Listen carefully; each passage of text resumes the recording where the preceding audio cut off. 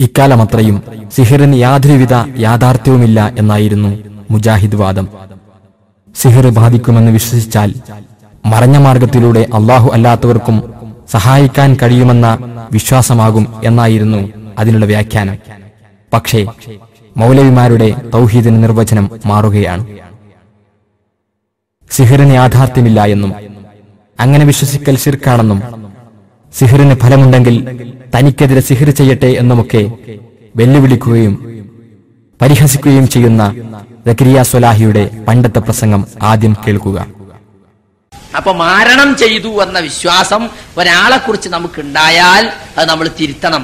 അങ്ങനെ ഒരാളെ കുറിച്ച് നമ്മൾ വിശ്വസിക്കാൻ പാടില്ല. തൗഹീദ് അനുസരിച്ച് ഇപ്പൊ ചില ആളുകൾക്ക് സംശയം അത് ഫലിക്കോ ഫലിക്കൂലേ? ഫലിക്കോ ഫലിക്കൂലെന്ന് ചർച്ച ചെയ്യണം എന്തിനാ? നമ്മളെ സംബന്ധിച്ചിടത്തോളം ഫലിക്കൂല എന്നല്ലേ നമ്മളെ വിശ്വാസം? അതനുസരിച്ച് നമ്മൾ നിന്നാ മതി. എത്ര ചെഴുത്താന്മാർ ഒന്നിച്ച് സീർ ചെയ്താലും ഇപ്പൊ ഞമ്മക്ക് വെല്ലുവിളിക്കുന്നു ഞാനൊക്കെ. ഞങ്ങളൊക്കെ ഇതിനെതിരെ പ്രസംഗിച്ച് നടക്കുന്ന ആളുകളാ. എന്നാ ഈ സീറന്മാർക്ക് ഞങ്ങൾക്കൊക്കെ എതിരിലൊക്കെ സീർ ചെയ്തൂടെ? ഇപ്പൊ ഞാൻ വീട്ടിൽ നിന്ന് പുറപ്പെട്ട് പാറാലിക്ക് എത്രയും പകരം വേറെ എവിടെയെങ്കിലും പോയി ഇറങ്ങൂലേ? കണപ്പരി വിചാരം പറയുന്നത് അങ്ങനെയാണ്. യാത്ര പുറപ്പെട്ടാളെ തിരിച്ചുവിടാൻ കഴിയുന്ന. പൊട്ടിതിരിക്കാതൊക്കെ എന്ന് പറയാം. അതിനല്ല എന്തെങ്കിലും കൂടോത്രം ചെയ്താൽ പാറാലിക്ക് വന്ന് ഞാൻ വേറെ എവിടെ പോയി ഇറങ്ങൂല. അന്ധവിശ്വാസത്തെ കുറിച്ച് പ്രസംഗിക്കാൻ പോകണ്ട ചങ്ങായി. മോൻ അവിടെ എത്താതെ തട്ടി തിരിഞ്ഞ് എവിടെങ്കിലും എന്ന് വിചാരിച്ചാൽ പോരെ. മാത്രമല്ല ഇസ്രയേലിനെതിരെ വലിയ സിഹറം ചെയ്താൽ പോരെ. അറബ് രാഷ്ട്രങ്ങളൊക്കെ പാടെ കൂടി കോടിക്കണക്കിന് ഉറുപ്പ്യ ചെലവാക്കിയിട്ട് കഷ്ടപ്പെട്ടുകൊണ്ടിരിക്കുക ഇസ്രായേലിനെ കൊണ്ട്. ഒരു ഇസ്രായേലിനെതിരെ സിഹറം ചെയ്താൽ പോലെ അപ്പൊ സുഹൃത്തുക്കളെ മറഞ്ഞ മാർഗത്തിലൂടെ ഹൈറും ഷെറും വരുത്താൻ അള്ളാഹുവിന്റെ മാത്രമേ സാധിക്കൂ എന്ന് വിശ്വസിക്കുന്ന ഒരാൾ സിഹിർ വലിക്കോ വലിക്കോ എന്ന് പിന്നെ ചർച്ച ചെയ്യേണ്ട കാര്യമല്ല. സിഹിറിന് യാഥാർത്ഥ്യമുണ്ടെന്നും സിഹിറിന്റെ യാഥാർത്ഥ്യത്തെ തെളിയിക്കാനുള്ള വെല്ലുവിളി പൊട്ടൻ വെല്ലുവിളിയാണെന്നും ഇപ്പോൾ അതേ സ്വലാഹി തന്നെ പറയുന്നു. യാഥാർത്ഥ്യമുണ്ട്. അതുകൊണ്ടാണല്ലോ വൻ പാപങ്ങളിൽ ഒന്നായിട്ട് അതിന് എണ്ണിയത്. അല്ലേ? ഒന്നാമത്തെ വൻ പാപം ശരിക്ക് രണ്ടാമത്തേതാ ശിവിര് ഇല്ലാത്ത ഒരു കാര്യത്തെ നിരോധിക്കേണ്ട കാര്യമില്ലല്ലോ. അവ യാഥാർത്ഥ്യമുണ്ട് ആളുകൾ അത് ഉപയോഗിക്കുന്നുമുണ്ട്. അതുകൊണ്ടാണ് അത് ചെയ്യാൻ പാടില്ല എന്ന് പറഞ്ഞത്. പിന്നെ ചില ആളുകൾ പറയും എന്നാ എനിക്ക് ചെയ്യട്ടെ? നിങ്ങൾക്ക് ചെയ്യട്ടെ? എനിക്ക് ഇന്ന നമുക്ക് ചെയ്യട്ടെ എന്ന് പറഞ്ഞാൽ അതിന്റെ അർത്ഥം എന്താ? ചെയ്തോ കാഫറാവൂലേ? ഒരാൾ കാഫറായിട്ട് നമ്മളെ വിശ്വസിപ്പിക്കാൻ നിൽക്കുവോ? ഞാൻ സീവറിൽ വിശ്വസിക്കില്ല. എന്നെ വിശ്വസിപ്പിക്കാൻ വേണ്ടി നിങ്ങൾ കാഫറാവോ സിവിലിനോ കാഫറാവും. വലിയ കുറ്റാണത്. സാഹിറിനെ കൊല്ലണമെന്നാണ് പറഞ്ഞിട്ടുള്ളത്. ഈ സുല്ലം ചോദിക്കണ്ട് ഇന്നെ കുത്തട്ടെ? ഇന്നെ നുള്ളട്ടെ? എന്റെ പേനൊന്ന് നീക്കട്ടെ? യുക്തിവാദികൾ വെല്ലുവിളിക്കലുണ്ടല്ലോ. നിങ്ങൾക്ക് അങ്ങനെ ഒരു പടച്ചുണ്ടെങ്കിൽ ഈ പേന അങ്ങോട്ട് നീക്കട്ടെ? നിങ്ങൾക്ക് അങ്ങനെ ഒരു പടച്ചുണ്ടെങ്കിൽ ഈ മൈക്കെന്ന് അങ്ങോട്ട് നീക്കട്ടെ? അതിന്റെ അടുത്ത പടച്ചമല്ലാണാ തന്നെ. ഈ ജാതി പൊട്ട വെല്ലുവിളിയാ. നടത്തുന്നത്. യുക്തിവാദികൾ അങ്ങനെ എന്തെല്ലാം വെല്ലുവിളിച്ചിട്ടുണ്ട്? നിങ്ങളെ പടച്ചോണ്ടെങ്കിൽ എന്തിനാ ഭൂകമ്പം ഉണ്ടായത്? നിങ്ങളെ ആ, ലോകത്തിന് മുഴുവൻ കാരുണ്യമായ പടച്ചോണ്ടായിട്ട് മിനയിൽ തീപിടുത്തുണ്ടായത് എന്നൊക്കെ ചോദിക്കുന്ന വല്ല വെല്ലുവിളിയാണ്. സിഹിർ സത്യമാണോ? എന്ന് സാധാരണക്കാരായ മുസ്ലിമീങ്ങൾ ചോദിക്കുമ്പോൾ അത് കേവലം മായാജാലമാണെന്നും കൺകെട്ടാണെന്നും അതിന് യാഥാർത്ഥ്യമില്ലെന്നുമായിരുന്നല്ലോ മുജാഹിദുകൾ പ്രചരിപ്പിച്ചിരുന്നത്. അതിന് അവരുടെ പുസ്തകങ്ങളും കാസറ്റുകളും ഒന്നും കാണിച്ചു കൊടുക്കേണ്ട ആവശ്യമില്ല. കാരണം ആരാണ് മുജാഹിദുകൾ എന്ന് ചോദി സിഹിർബാധയിലുമൊന്നും വിശ്വാസമില്ലാത്തവർ എന്നായിരുന്നു പൊതുജനം ധരിച്ചിരുന്നത്. പക്ഷേ ഇന്ന് അത് തിരുത്തുകയും ജിന്ന് എന്ന് പറയുന്ന ഒരു സംഗതി ഉണ്ടെന്നും അതിന് യാഥാർത്ഥ്യമുണ്ടെന്നും അത് ബാധിക്കുമെന്നും റസൂലുള്ളാഹി സ്വല്ലല്ലാഹു അലൈഹി വസല്ലമ തങ്ങൾക്ക് വരെ സിഹിർ സംബന്ധമായി ചെറിയ പ്രതിഫലനങ്ങൾ ഉണ്ടായിട്ടുണ്ടെന്നും വ്യക്തമായി തുറന്നടിക്കുന്ന ഒരു അവസ്ഥയിലേക്ക് വഹാബിസം എത്തി എന്നത് സ്വാഗതാർഹമാണ്. പക്ഷേ മൗലവി വിഭാഗം സിഹിറിനെ ഉണ്ടെന്ന് സമ്മതിക്കുകയും അതിനെതിരെ നാം ശ്രദ്ധ പുലർത്തണമെന്ന് പറയുകയും ചെയ്യുമ്പോൾ അതിനെ ബാത്തുലാക്കാൻ വേണ്ടി പണ്ഡിതന്മാർ പഠിപ്പിച്ച മാർഗങ്ങളെക്കുറിച്ച് സമുദായത്തെ ഉത്ബോധിപ്പിക്കുന്നുണ്ടോ എന്നത് ചിന്തനീയമാണ്. പിശാച്ചിനെ വിട്ടുകൊണ്ട് സിഹിറുണ്ടെന്നും പിശാച്ചിന് ഇങ്ങനെയൊക്കെ സാധിക്കുമെന്നും പറയുമ്പോൾ പിശാച്ചിനോട് തന്നെ സഹായം ചോദിച്ചിട്ട് അല്ലെങ്കിൽ പിശാച്ചിന്റെ സഹായം നേടിയിട്ട് അതിനെ ബാത്തിലാക്കാനുള്ള പ്രവണതകളിലേക്ക് ഇവർ ക്ഷണിക്കുകയാണോ എന്ന് സമുദായം ഉത്ബുദ്ധപ്പെടണം കാരണം സിഹറിന് ജിന്നിന് വേണ്ടിയൊക്കെ റിസർച്ച് സെന്ററുകൾ തുടങ്ങപ്പെട്ട ഒരു അവസ്ഥയിൽ എവിടേക്കാണ് പോകുന്നത് എന്ന് നമ്മൾ ജാഗ്രതയോടുകൂടെ തന്നെ മനസ്സിലാക്കുകയും ശ്രദ്ധിക്കുകയും വേണം. ഒരു കാലഘട്ടത്തിൽ മുജാഹിദ് സ്റ്റേജുകളിൽ നിന്ന് നിരന്തരമായി മുഴങ്ങുന്ന ചില ചോദ്യങ്ങളുണ്ടായിരുന്നു. എന്തുകൊണ്ടാണ് ബദരീങ്ങൾ അവർക്ക് പ്രയാസങ്ങൾ ഉണ്ടായപ്പോ യുദ്ധങ്ങൾ വന്നപ്പോ വെട്ടുകൾ വന്നപ്പോ തടുക്കാൻ സാധിക്കാതിരുന്നത്? എന്തുകൊണ്ടാണ് ഓമാനൂർ സുഹതാക്കൾക്ക് വെട്ടുകൾ തടുക്കാൻ സാധിക്കാതിരുന്നത്? അല്ലെങ്കിൽ മഹാന്മാർക്ക് കഴിവുകൾ ഉണ്ടെങ്കിൽ എനിക്ക് നിങ്ങൾക്ക് ഇങ്ങനെ പ്രയാസപ്പെടേണ്ടി വരുമോ?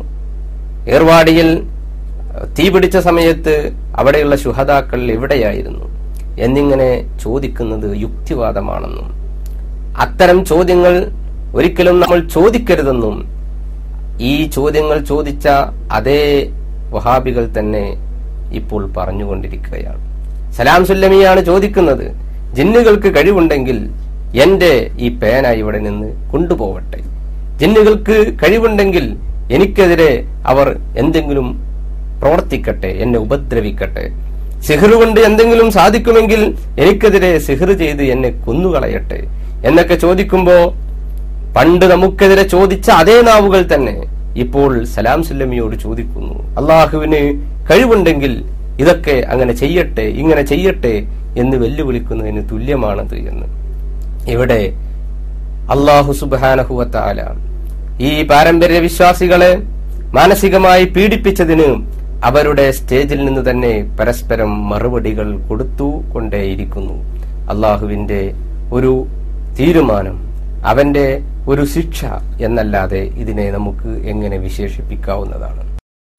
ആയിരത്തി തൊള്ളായിരത്തി തൊണ്ണൂറ്റി എട്ടിലെ ശിർക്ക് രണ്ടായിരത്തിയേഴിൽ തൗഹീദാകുന്നു.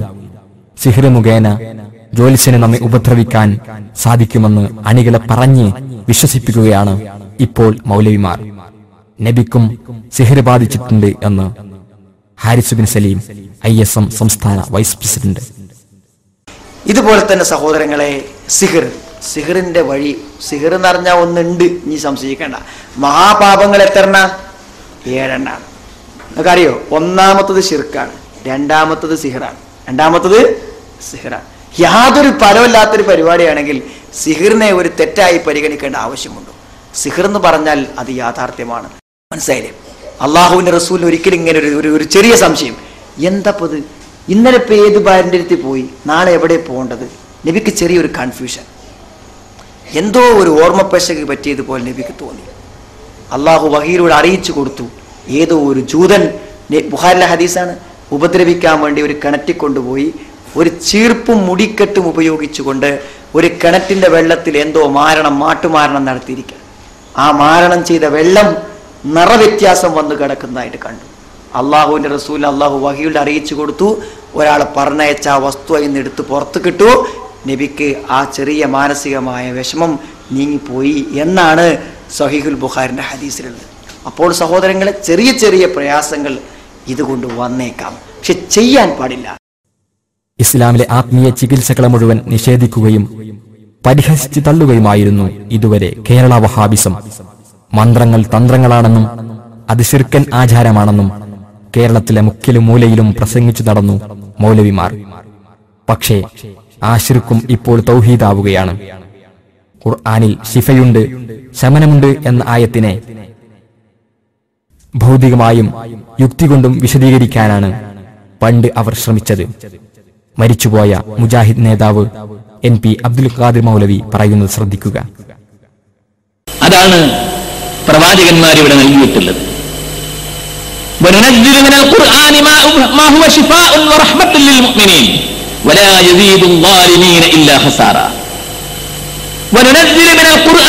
ഖുർആൻ നാം അവതരിപ്പിക്കുന്നു ഖുർആനിൽ നിന്ന് നാം അവതരിപ്പിക്കുന്നു. ഔഷധവും അനുഗ്രഹവുമായ വസ്തുക്കളെ. വിശ്വാസികളായ ആളുകൾ അതേ സമയത്ത് വലായീതും ലാലിമീന ഇല്ലാ ഹസാറ ലാലിമുകൾക്ക് അത് നഷ്ടമല്ലാതെ വർദ്ധിപ്പിക്കുകയില്ല. അള്ളാഹുത്താല പരിശുദ്ധ ഖുർആൻ അവതരിപ്പിച്ചപ്പോൾ അതിൽ ഔഷധമുണ്ട്. എന്തിനാണ് ഔഷധം? അത് ഈ കാണുന്ന ശരീരത്തിന് വരുന്ന രോഗത്തിനെ സംബന്ധിച്ചല്ല അള്ളാഹ് പറഞ്ഞത്. മനുഷ്യന്റെ മനസ്സിലുണ്ടാകുന്ന രോഗങ്ങൾ. മനുഷ്യന്റെ മനസ്സിലുണ്ടാകുന്ന അപാകതകൾ. അതിന്റെ പാളിച്ചകൾ. അതിനെ സംബന്ധിച്ചുള്ള വ്യക്തമായ സൂക്ഷ്മമായ നിർദ്ദേശങ്ങളാണ് പരിശുദ്ധ ഖുർആൻ ഓതിക്കൊടുത്തുകൊണ്ട് മുഹമ്മദ് മുസ്തഫ സല്ലല്ലാഹു അലഹി വസ്ല്ലം ഈ സമൂഹത്തിന് നൽകിയത്. എന്നാൽ ഇന്ന് ദക്കരിയ സ്വലാഹി പറയുന്നത് ഓരോ സൂറത്തുകളെയും ആയത്തുകളെയും ഒക്കെ എല്ലാ രോഗങ്ങൾക്കുമുള്ള ചികിത്സക്കായി നമുക്ക് ഉപയോഗപ്പെടുത്താം എന്നാണ്. ചേത്താൻ മനുഷ്യനെ ഉപദ്രവിക്കും. അതിനുള്ള മരുന്ന് ഖുർആനാണ്. പിന്നെ ചില ആളുകൾ ചോദിക്കും കുറെ ആയത്തുകൾ ആദ്യം ഫാത്തിയ സൂറത്ത് പിന്നെ അൽ ബക്കറിയിൽ ഇന്നായത്ത് പിന്നെ ആലിമ്ര ഇന്നായത്ത് ഇങ്ങനെയൊക്കെ പ്രത്യേകം ആയത്തുകൾ തെരഞ്ഞെടുത്ത് ഓതുന്നുണ്ടല്ലോ. അതിന് വല്ല തെളിവുണ്ടോ എന്ന് ചില ആളുകൾ ചോദിക്കാറുണ്ട്. യഥാർത്ഥത്തിൽ പൊതു തത്വമാണ് യഥാർത്ഥത്തിൽ ഇവിടെ നമ്മൾ മനസ്സിലാക്കേണ്ടത്. അതായത് ഇന്ന ആയത്ത് ഓതണം എന്ന് റസൂൽ സ്വലാസ്ലം പറയേണ്ടതില്ല. മറിച്ച് ഖുർആൻ തന്നെ ഷിഫയാണെന്ന് ഖുർആനിൽ പറഞ്ഞിട്ടുണ്ട്. ഖുർആനി മാഹുവ ഷിഫാവും ഈ ഖുർആനെ നാം അവതരിപ്പിക്കുന്നു. അത് ശിഫയാണ് ശമനമാണ് മുഅ്മിനീങ്ങൾക്ക് റഹ്മത്തുമാണ്. ശിഫ എന്ന് പറഞ്ഞാൽ ഷിർക്കിൽ നിന്നും സംശയത്തിൽ നിന്നുമൊക്കെയുള്ള ശമനത്തോടൊപ്പം തന്നെ മനുഷ്യന്റെ എല്ലാ അസുഖങ്ങൾക്കുമുള്ള ശമനമാണത് എന്ന് പണ്ഡിതന്മാർ അതിനെക്കുറിച്ച് പറഞ്ഞിട്ടുണ്ട്. ഉദാഹരണം എന്റെ അടുത്ത് മതം മാറി വന്ന ചില ആളുകൾ വന്ന് പറഞ്ഞെന്ന് വെച്ചാൽ ഒരു സുഹൃത്ത് പറഞ്ഞത് പുള്ളി നമസ്കരിക്കാൻ നിന്നാൽ യേശുവിന്റെ രൂപം മുന്നിൽ വന്ന് നിൽക്കുമെന്നാണ് യേശുവിന്റെ രൂപം മുന്നിൽ വന്ന് നിൽക്കും. എത്ര കാണിച്ചാലും അത് പോവില്ല. എന്നിട്ട് അദ്ദേഹം എന്ത് വിചാരിച്ചു? എന്നാൽ ഞാൻ ഇത് പോകാൻ വേണ്ടിയിട്ട് അള്ളാഹൂന്നിങ്ങനെ വലിയ അക്ഷരത്തിൽ എഴുതിയത് മനസ്സിൽ കണ്ട് അതിന്റെ മുന്നിൽ നമസ്കരിക്കാമെന്ന് വിചാരിച്ചു. എന്നാലും ഇതങ്ങൾ പോയി കിട്ടുന്നു. അപ്പോഴും ഇത് പോവില്ല. അങ്ങനെ ഇയാൾ എന്റെ അടുത്ത് വന്നപ്പോൾ ഞാൻ പറഞ്ഞു നിങ്ങൾ പ്രാർത്ഥിക്ക് പഠിച്ചോളൂ. പ്രാർത്ഥിച്ചാൽ മതി. അങ്ങനെ ഞാൻ മടക്കി അയച്ചു. വീണ്ടും അദ്ദേഹം വന്നിട്ട് പറഞ്ഞു സാറ് എന്തായാലും പോകുന്നില്ല. അത് എങ്ങനെ നിങ്ങൾക്ക് എന്തെങ്കിലും വേറെ മാർഗത്തിൽ അത് കളയാൻ പറ്റുമെന്ന് അങ്ങനെ ഞാൻ അദ്ദേഹത്തിന്റെ അടുത്ത് നിന്ന് ഖുർആൻ ഓതുകയും ഖുർആൻ ഓതിയ വെള്ളം അദ്ദേഹത്തിന്റെ മുഖത്ത് ഇങ്ങനെ തളിക്കുകയും ചെയ്തു. അപ്പം ഈ രൂപ പ്രത്യക്ഷമായി പിന്നെ രൂപം വന്നിട്ടില്ല എന്നാണ്. അപ്പം ഇങ്ങനെയുള്ള ചില അനുഭവങ്ങൾ ചിലപ്പോൾ ഉണ്ടാവും. ഇതെല്ലാം പിശ അപ്പം എല്ലാ രോഗങ്ങൾക്കും അള്ളാഹു മരുന്ന് നിർമ്മിച്ചിട്ടുണ്ട്. അത് കണ്ടെത്തി ചികിത്സിച്ചാൽ മതി. ആത്മീയമായ ചികിത്സകൾ പാടില്ല. ഊത്തും തടവും മന്ത്രവുമൊക്കെ തന്ത്രങ്ങളാണ് എന്നൊക്കെ പറഞ്ഞ് പരിഹസിച്ച് ദക്കരിയ സൊലാഹി മുമ്പ് പ്രസംഗിച്ച ഭാഗം നിങ്ങൾ ശ്രദ്ധിക്കുക. രോഗം വന്ന ഐക്കല്ല് ഏലസ് ഉറുക്ക് മന്ത്രം തന്ത്രം ഇതൊക്കെ ആരാ ചെയ്തുകൊണ്ടിരിക്കുന്നത്? റസൂൽ പഠിപ്പിച്ചത് രോഗം വന്നാൽ നിങ്ങൾ ചികിത്സിക്കണം. തദാവൗ. നിങ്ങൾ ചികിത്സിക്കണം. അള്ളാഹു രോഗം ഇറക്കിയിട്ടുണ്ടോ? അതിന് പ്രത്യൗഷധവും ഇറക്കിയിട്ടുണ്ട്. ആ ഔഷധം കണ്ടെത്തി ചികിത്സിച്ചാൽ ബരി അള്ളാഹുവിന്റെ അനുമതി പ്രകാരം രോഗം സുഖപ്പെടുന്നതാണ്. അതിന് പകരം ഇവരെന്താ ചെയ്യുന്നത്? ഒരു തങ്ങളെടുത്ത് പോവും. അവിടുന്ന് ഒരു നൂൽ ഒന്ന് കെട്ട്. ഒരു കെട്ട്. എന്നിട്ട് ഒന്ന് കയ്യിൽ കെട്ടും. അല്ലേ? ഐക്കല്ല് ഏലസ് ഉറുക്കെന്നൊക്കെ പറഞ്ഞ് എന്താ അതിനകത്ത് ഉണ്ടാവുക? ഒരു കഷ്ണം കടലാസ് എടുത്തിട്ട് കുട്ടികൾ ടൈം ടേബിളിന് വരയും പോലെ തെലുങ്കും പലുങ്കും വരയുക അലിഫ് ലാമ് അലിഫ് റാവ് എന്നൊക്കെ എഴുതുക. എന്നിട്ട് ഹോമിയോപ്പതിക്കാരൻ ഗുളികപ്പൊതി മുടക്കുമ്പോൾ ചെറുതായി മടക്കുക. എന്നിട്ട് മെഴുകിൽ പൊതിഞ്ഞ തുണിയിലാക്കുക. എന്നിട്ട് നൂൽ ചുറ്റുക. ഇതാണ് ഐക്കല്ല് ഏലസ്. അത് സ്വർണത്തിനുള്ളിലാക്കിയാലും വെള്ളിന്റെ ഉള്ളിലാക്കിയാലും കടലാസിനുള്ളിലാക്കിയാലും ഒക്കെ സാധനം ഇത് തന്നെയാണ്. കുരിപ്പിടിച്ചാലും അതന്നെ ബയറ്റുന്നോ കുടിച്ചാലും അതന്നെ ഭർത്താവ് ഗൾഫിലുള്ളപ്പോ പ്രേമം പൊളിയാതിരിക്കാൻ കൊടുക്കണ ഐക്കല്ലും അതന്നെ കാളവൂട്ടിന് പോകുന്ന പോത്തിന്റെ അരയിൽ കെട്ടണോ അതന്നെ ഊർച്ചമരത്തുമ്പോ കയറണ ഇരിക്കാലി പോത്തിന്റെ അരയിലും അതന്നെ. കണ്ട നിങ്ങൾ? എന്നിട്ട് പറയലാണ് ഞങ്ങൾ അഹ്ലുസുന്നത്ത് വൽ ജമാഅത്താണ്. സ്വലാഹിയും ഗ്രൂപ്പും നയം മാറ്റാൻ നിർബന്ധിതരായിരിക്കുന്നു. എല്ലാ സമയത്തും മന്ത്രങ്ങൾ വേണമെന്നും ഊതലും തടവലുമൊക്കെ മന്ത്രത്തിൽ പെട്ടതാണെന്നും അതേ സക്കരിയ സ്വലാഹി തന്നെ ഇപ്പോൾ പ്രസംഗിക്കുന്നു. പഠിക്കുന്നതോട് നമുക്ക് തക്കവ കൂടും. ഓരോ കാര്യങ്ങളും.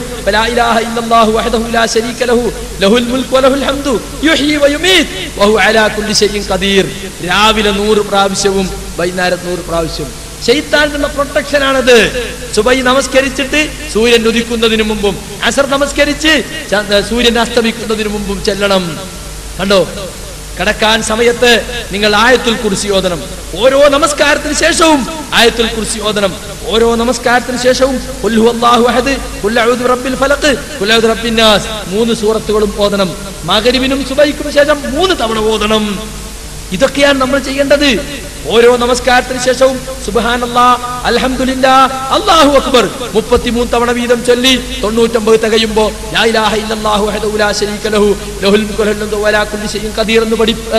അത് എന്ത് ചെയ്യണം? അതിൽ പൂർത്തിയാക്കണം. നമ്മൾക്ക് നമ്മളെ കുട്ടികൾക്കൊക്കെ എന്തെങ്കിലുമൊക്കെ വിഷമങ്ങളോ കരച്ചിലോ ഒക്കെ ഉണ്ടാകുമ്പോൾ നമ്മൾ എന്താ ചെയ്യാറ്? ഒരു ചെറിയ കുട്ടി എന്താണെന്ന് പറയാൻ വയ്യാത്ത കുട്ടി രാത്രി കരയാണെങ്കിൽ ഒന്ന് കൊണ്ടുപോയി നജസ്സിന്നൊക്കെ വൃത്തിയാക്കിയിട്ട് നമ്മൾ കുട്ടിക്ക് ആയത്തിൽ കുറിച്ച് ഓതി ഊതി തടവി കൊടുത്ത കുട്ടി അങ്ങോട്ട് ഉറങ്ങും. ഇതൊക്കെ ഇപ്പൊ ഹുറാപ്പാത്ത നബി പറഞ്ഞു നിങ്ങൾക്കൊരു സ്ഥലത്ത് വേദനയുണ്ടെങ്കിൽ ആ വേദനയുള്ള സ്ഥലത്ത് നിങ്ങൾ കൈവെക്കുക. എന്നിട്ട് ബിസ്മില്ല എന്ന് മൂന്ന് പ്രാവശ്യം പറയാ. എന്നിട്ട്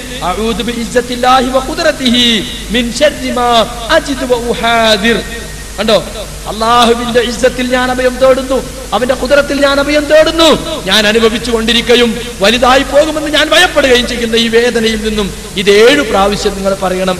എന്നിട്ടും വേദന മാറിയില്ലെങ്കിൽ വീണ്ടും വീണ്ടും പറയണം. അപ്പൊ വേദനക്കുള്ള മന്ത്രമാണത്.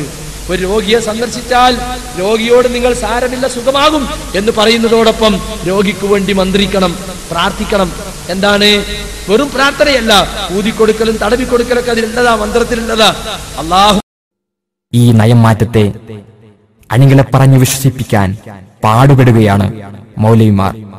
ഹാരിസ് ബിൻ സലീമിനെ ശ്രദ്ധിക്കുക. അതുകൊണ്ട് സഹോദരങ്ങളെ ഹദീത്തിൽ വന്ന ഇസ്ലാമികമായ ചില മന്ത്രങ്ങളെക്കുറിച്ച് ഞാൻ സംസാരിക്കാം. ഞാൻ ഹദീത്ത് സ്വീകാര്യമായ ഹദീത്തുകൾ മാത്രമേ ഇവിടെ ഉത്തരിക്കുള്ളൂ അതിലൊരു കാര്യം അള്ളാഹുവിന്റെ റസൂൽ പറഞ്ഞു എന്ന് പറഞ്ഞാൽ നിങ്ങൾ സംശയിക്കാതിരിക്കാം. അത് നൂറ് ശതമാനം അതുപോലെ സ്വീകരിക്കാം. ഒരുപക്ഷെ ആളുകൾ ഇത് പറയുന്നവരെ പരിഹസിക്കും. ബുദ്ധി കൊണ്ട് മാത്രം ദീനിനെ മനസ്സിലാക്കിയ ഹദീത്തുകളെക്കുറിച്ച് പരിജ്ഞാനമില്ലാത്ത ദീനെന്ന് പറഞ്ഞാൽ അതിനെക്കുറിച്ച് യാതൊരു വിധത്തിലും അഗാധമായി വായിക്കാത്ത പഠിക്കാത്ത ആളുകൾ എന്താ പുതിയ കുറെ പരിപാടികൾ ഇവിടെ പറയണു എന്നൊരു പക്ഷെ ചിന്തിച്ചേക്കാം. ഹദീസുകളിലും പ്രവാചകൻ പറഞ്ഞു എന്ന് പറഞ്ഞാൽ സംശയമില്ലാതെ വിശ്വസിക്കാൻ സാധിക്കുന്നവർക്ക് എന്റെ ഈ സംസാരം ഉൾക്കൊള്ളാൻ കഴിയൂ എന്ന് പറയാനാണ് സത്യത്തിൽ ഇത്രയും നീണ്ട ഒരു മുഖവുര ഞാൻ ഇവിടെ പറയേണ്ടി വന്നതെന്നാണ്. പ്രത്യേകിച്ചും നമ്മുടെ നാട്ടിൽ അങ്ങനെ ഒരു മുഖവുര ആവശ്യമാണ് എന്ന് മനസ്സിലാക്കി തന്നെയാണ് ഞാനിത് സംസാരിച്ചിട്ടുള്ളത്. സഹോദരങ്ങളെ നിങ്ങൾ മനസ്സിലാക്കുക. എന്താണ് മന്ത്രമെന്ന് പറഞ്ഞാൽ ഇസ്ലാമിലെ മന്ത്രങ്ങൾ എന്നാണ് വിഷയം. എന്താണ് മന്ത്രമെന്ന് പറഞ്ഞാൽ മന്ത്രം അതാ ഏർപ്പാടന്നെ പാടില്ല എന്നാണ് നമ്മൾ പറയാം. കാരണം അതൊക്കെ അൻപതും അറുപതും കൊല്ലം മുമ്പ് ഇവിടുത്തെ സുന്നികളും ഹുറാഫികളും നടത്തിയിരുന്ന പരിപാടി നമ്മളൊക്കെ ഒഴിവാക്കി പോയതല്ലേ. നിങ്ങളിപ്പോൾ എന്താണ് അതിനെ തിരിച്ചു കൊണ്ടുവരികയാണോ? പുതിയതായിട്ട് എന്നായിരിക്കും ഒരു പക്ഷേ ഈ നോട്ടീസ് കണ്ടപ്പോൾ ഒറ്റപ്പെട്ട ആളുകളെങ്കിലും അങ്ങനെ ചിന്തിക്കാൻ സാധ്യതയുണ്ടെന്ന് ഞാൻ വിചാരിപ്പിച്ചും ഭയപ്പെടുത്തിയും സംശയമുണ്ടാക്കിയും മനുഷ്യനെ ബുദ്ധിമുട്ടാക്കും. ഞാൻ പറഞ്ഞു ആയത്തിൽ കുറിച്ച് രാത്രി ഓതണം എല്ലാ നിസ്കാരം കഴിഞ്ഞാൽ ഓതണം പിശാചിനെ കുറിച്ച് എന്തെങ്കിലും വിഷമം തോന്നുമ്പോൾ നമ്മൾ ഓതണം. രാവിലെയും വൈകുന്നേരവും ഓരോ പ്രാവശ്യം ഓതണം. ഇതൊക്കെ ഹരീസുകളിൽ വന്നാണ്. അപ്പൊ സഹോദരങ്ങളെ ഈ പിശാചിൽ നിന്നുള്ള രക്ഷ സർവഭയങ്ങളിൽ നിന്നുള്ള രക്ഷ യഥാർത്ഥത്തിൽ ഇത്തരം മന്ത്രങ്ങളെ കൊണ്ട് സാധ്യമാകുന്നതാണ്. പക്ഷേ നമ്മൾ മനസ്സിലാക്കേണ്ട ഏറ്റവും പ്രധാനപ്പെട്ട കാര്യം സഹോദരി സഹോദരന്മാരെ അനുവദനീയമായ പ്രാർത്ഥനകളും മന്ത്രങ്ങളും അറിയാത്തത് കൊണ്ട് ഡോക്ടർമാർ പറയും ഡോക്ടർമാരെത്തി ചെന്നാൽ പോലും പറയും ഇത് ഞങ്ങൾ ചികിത്സിച്ച മാറുന്ന രോഗമല്ല ഇങ്ങളെ വല്ല ആൾക്കാരുണ്ടാവും ഇതിന്റെ ആൾക്കാർ ഓരോരുത്തർ പോയിക്കോളി എന്ന് പറയും. കേട്ടിക്കണങ്ങൾ അങ്ങനെ? പറയും. ഡോക്ടർമാർ പറയും. വലിയ വലിയ ആശുപത്രിയിലത്തെ ഡോക്ടർമാർ മെഡിക്കൽ കോളേജിലത്തെ ഡോക്ടർമാർ വരെ പറയും. ഇത് ഞങ്ങൾ ചികിത്സിച്ചാൽ മാറൂല. നിങ്ങളെ വല്ല ആൾക്കാരുടെ ഓരത്ത് പോയിക്കൊള്ളി മന്ത്രി മന്ത്രിച്ചുതിയാൽ പിന്നെ നമുക്കൊരു പേടിയും പേടിക്കാൻ ഇല്ല എന്ന് മൗലൈമാർ ഇപ്പോൾ പറയുന്നു. രാത്രി ഒരാൾ ഈ സൂറത്ത് ഓതിക്കടന്നാൽ അള്ളാഹു അയാൾക്ക് നേരം പുലരുവോളം ഒരു കാവൽക്കാരനെ ഏൽപ്പിക്കും. അതാ ഞാൻ പറഞ്ഞ ഈ മന്ത്രങ്ങളും പ്രാർത്ഥനയും പഠിച്ചാൽ പിന്നെ ഒരു പേടിയും ഉറങ്ങാണ്ടാവില്ല. വാതിലൊക്കെ ആകുന്ന അടച്ചൻ വന്നിട്ട് അണ്ടി ഇരിക്കുക എന്നിട്ട് എന്ത് ചെയ്യാ നിങ്ങൾ? കയ്യിലൊന്ന് ഊതുക. എന്നിട്ട് ഈ മൂന്ന് സൂറത്ത് ഓതാ കുലാറോ പിന്നാസും കുലാബിൽ ഫലക്കും. ഓതിയിട്ട് എന്ത് ചെയ്യാം? ആദ്യം തല പിന്നെ മുഖം മുൻഭാഗം പിന്നെ പിൻഭാഗം മുഴുവനായിട്ട് തടവിന് കിടക്കുക. കുട്ടികളത് ഓതി കിടത്തുക. സമാധാനത്തോടെ ഉറങ്ങും. ആയത്തുൽ കുറിച്ച് യൂതുക സാധിക്കുകയാണെങ്കിൽ ദിക്കറുകൾ സാധാരണ നിസ്കാര ശേഷം ചെല്ലുന്ന ആ ദിക്കറുകൾ നമ്മൾ എന്ത് ചെയ്യുക? ചൊല്ലുക. അങ്ങനെ ഉറങ്ങിയ സുരക്ഷിതമാണ് ഒന്നും പേടിക്കാനാണ് അള്ളാഹുവിൻ റസൂൽ പഠിപ്പിച്ച പ്രാർത്ഥനകളും മന്ത്രങ്ങളും ഉരുടുന്നതിന് പേടി നിറഞ്ഞുണ്ടാവില്ല മന്ത്രം. വിശുദ്ധ ഖുർആൻ സ്വഹീഹായ ഹദീസ് തുടങ്ങിയ ആധാരമാക്കി തലമുറകളായി മുസ്ലിം സമൂഹം അനുഷ്ഠിച്ചു വരുന്ന ഒരു ആചാരമാണത്. പക്ഷേ ആധുനികതയോടുള്ള അതിഭ്രമം കാരണമായി കേരളത്തിൽ പരിഷ്കാരത്തിന്റെ കുപ്പായമിട്ട് വന്നയാളുകൾ ആദ്യമായി മന്ത്രത്തിനെതിരെയും ഇതുപോലെയുള്ള ആത്മീയ ചികിത്സകൾക്കെതിരെയും കലാപമുണ്ടാക്കിക്കൊണ്ടാണ് കേരള മണ്ണിനെ വിവാദങ്ങളുടെ ഭൂമിയാക്കി മാറ്റിയത്. പക്ഷേ അള്ളാഹുവിന്റെ ശിക്ഷയെന്നോണം ഇന്ന് അതേ മന്ത്രവും അതേ ചികിത്സകളും നമ്മൾ പറയുന്നതിനേക്കാൾ ഉപരിശക്തിയായി ഖുർആാനും ഹദീസും ഉദ്ധരിച്ചുകൊണ്ട് ഇവർ തന്നെ മുജാഹിദ് വേദികളിൽ വെച്ച് തന്നെ പരസ്യമായി പ്രസംഗിക്കുന്ന രസകരമായ അനുഭവം നാം കണ്ടുകൊണ്ടിരിക്കുന്നു. പക്ഷേ ഈ ആത്മീയ ചികിത്സകൾക്കു പിന്നിൽ ഗൂഢമായ മറ്റെന്തെങ്കിലും ലക്ഷ്യമുണ്ടോ എന്ന് ന്യായമായും സംശയിക്കുന്നിടത്തേക്കാണ് കാര്യങ്ങൾ നീങ്ങിക്കൊണ്ടിരിക്കുന്നത്.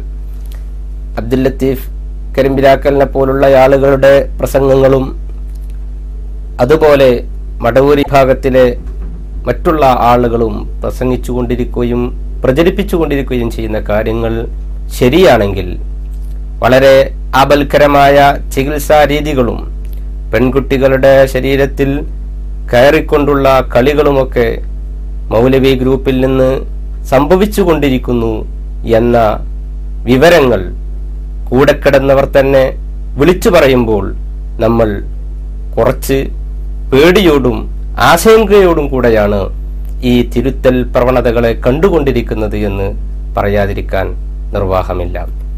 മറഞ്ഞ മാർഗത്തിലൂടെ സഹായിക്കാൻ അള്ളാഹുവിന് മാത്രമേ സാധിക്കൂ എന്ന തൗഹീദിന്റെ പഴയ നിർവചനത്തിൽ നിന്നുമുള്ള മുജാഹിദ് മൗലവിമാരുടെ ചുവടുമാറ്റത്തെ അണികൾ ചോദ്യം ചെയ്യുമ്പോൾ ഒച്ചവെച്ചും കഥ പറഞ്ഞുകൊടുത്തും വിഷയം മാറ്റി രക്ഷപ്പെടാനാണ് നേതാക്കൾ ശ്രമിക്കുന്നത്.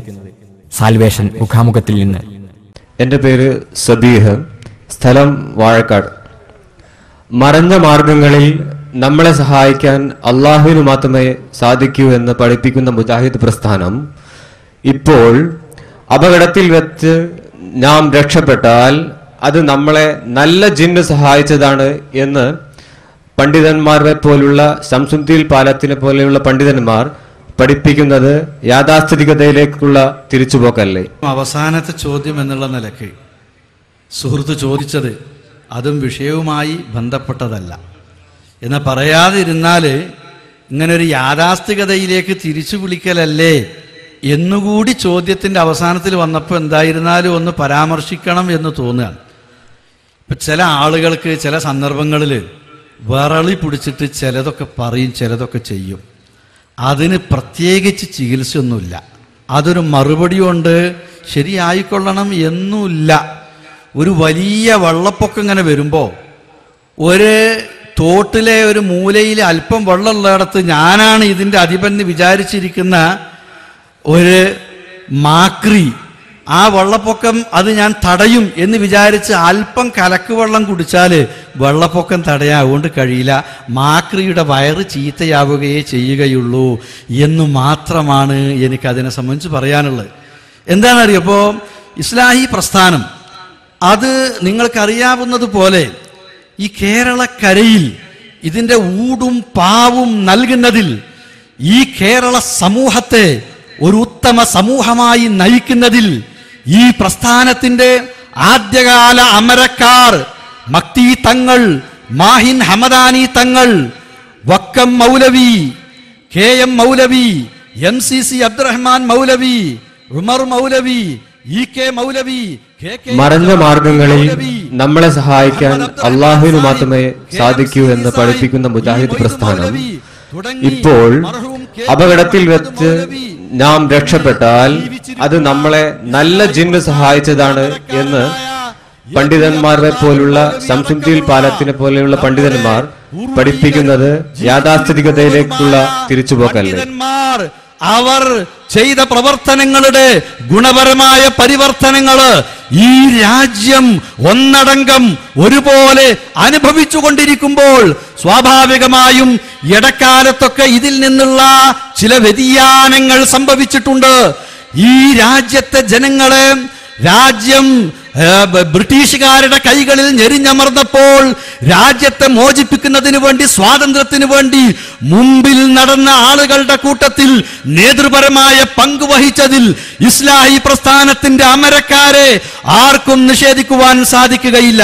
രാജ്യത്തിന് സ്വാതന്ത്ര്യം ലഭിക്കുന്ന ഘട്ടത്തിലും സ്വാതന്ത്ര്യം ലഭിച്ചതിന് ശേഷവും അത്തരക്കാരായ ആളുകൾ യാഥാസ്ഥികരായ ഒരു പിടി ആളുകൾ നിലവിലുള്ള ഭരണാധികാരിയോട് കൂറുപുലർത്തർ ഈമാനിന്റെ ഭാഗമാണ് എന്ന് പറഞ്ഞുകൊണ്ട് ചെയ്തുകൊണ്ടിരുന്ന ഘട്ടത്തിൽ അതേപോലെ തന്നെ ഉൽപ്പതിഷ്ണുക്കളാണെന്ന് പറഞ്ഞിരുന്ന ചില ആളുകൾ ഈ ഒരാ ഒരു ദൈവം പോയി ഒരായിരം ദൈവം പകരം വരുന്നത് വെളുത്ത ദൈവത്തിന് പകരം കറുത്ത ദൈവം വരുന്ന ഈ സ്വാതന്ത്ര്യ സമരത്തിന് ശാപം ഒരായിരം ശാപം എന്ന് പറഞ്ഞ ഉൽപതിഷ്ണുക്കൾ ഒരു ഭാഗത്തും നീങ്ങിയപ്പോൾ ഈ പാവപ്പെട്ട സമുദായത്തെ ആ നന്മയിലേക്ക് നയിക്കുന്നതിന് വേണ്ടി ഈ രാജ്യത്തിന്റെയും സമൂഹത്തിന്റെയും അഭിവൃദ്ധി ലാക്കാക്കിക്കൊണ്ട് പ്രവർത്തിച്ച ഇസ്ലാഹി പ്രസ്ഥാനം വിദ്യാഭ്യാസപരമായ സാംസ്കാരികമായ മറഞ്ഞ മാർഗങ്ങളിൽ നമ്മളെ സഹായിക്കാൻ അള്ളാഹുവിന് മാത്രമേ സാധിക്കൂ എന്ന് പഠിപ്പിക്കുന്ന മുജാഹിദ് പ്രസ്ഥാനം ഇപ്പോൾ അപകടത്തിൽ വെച്ച്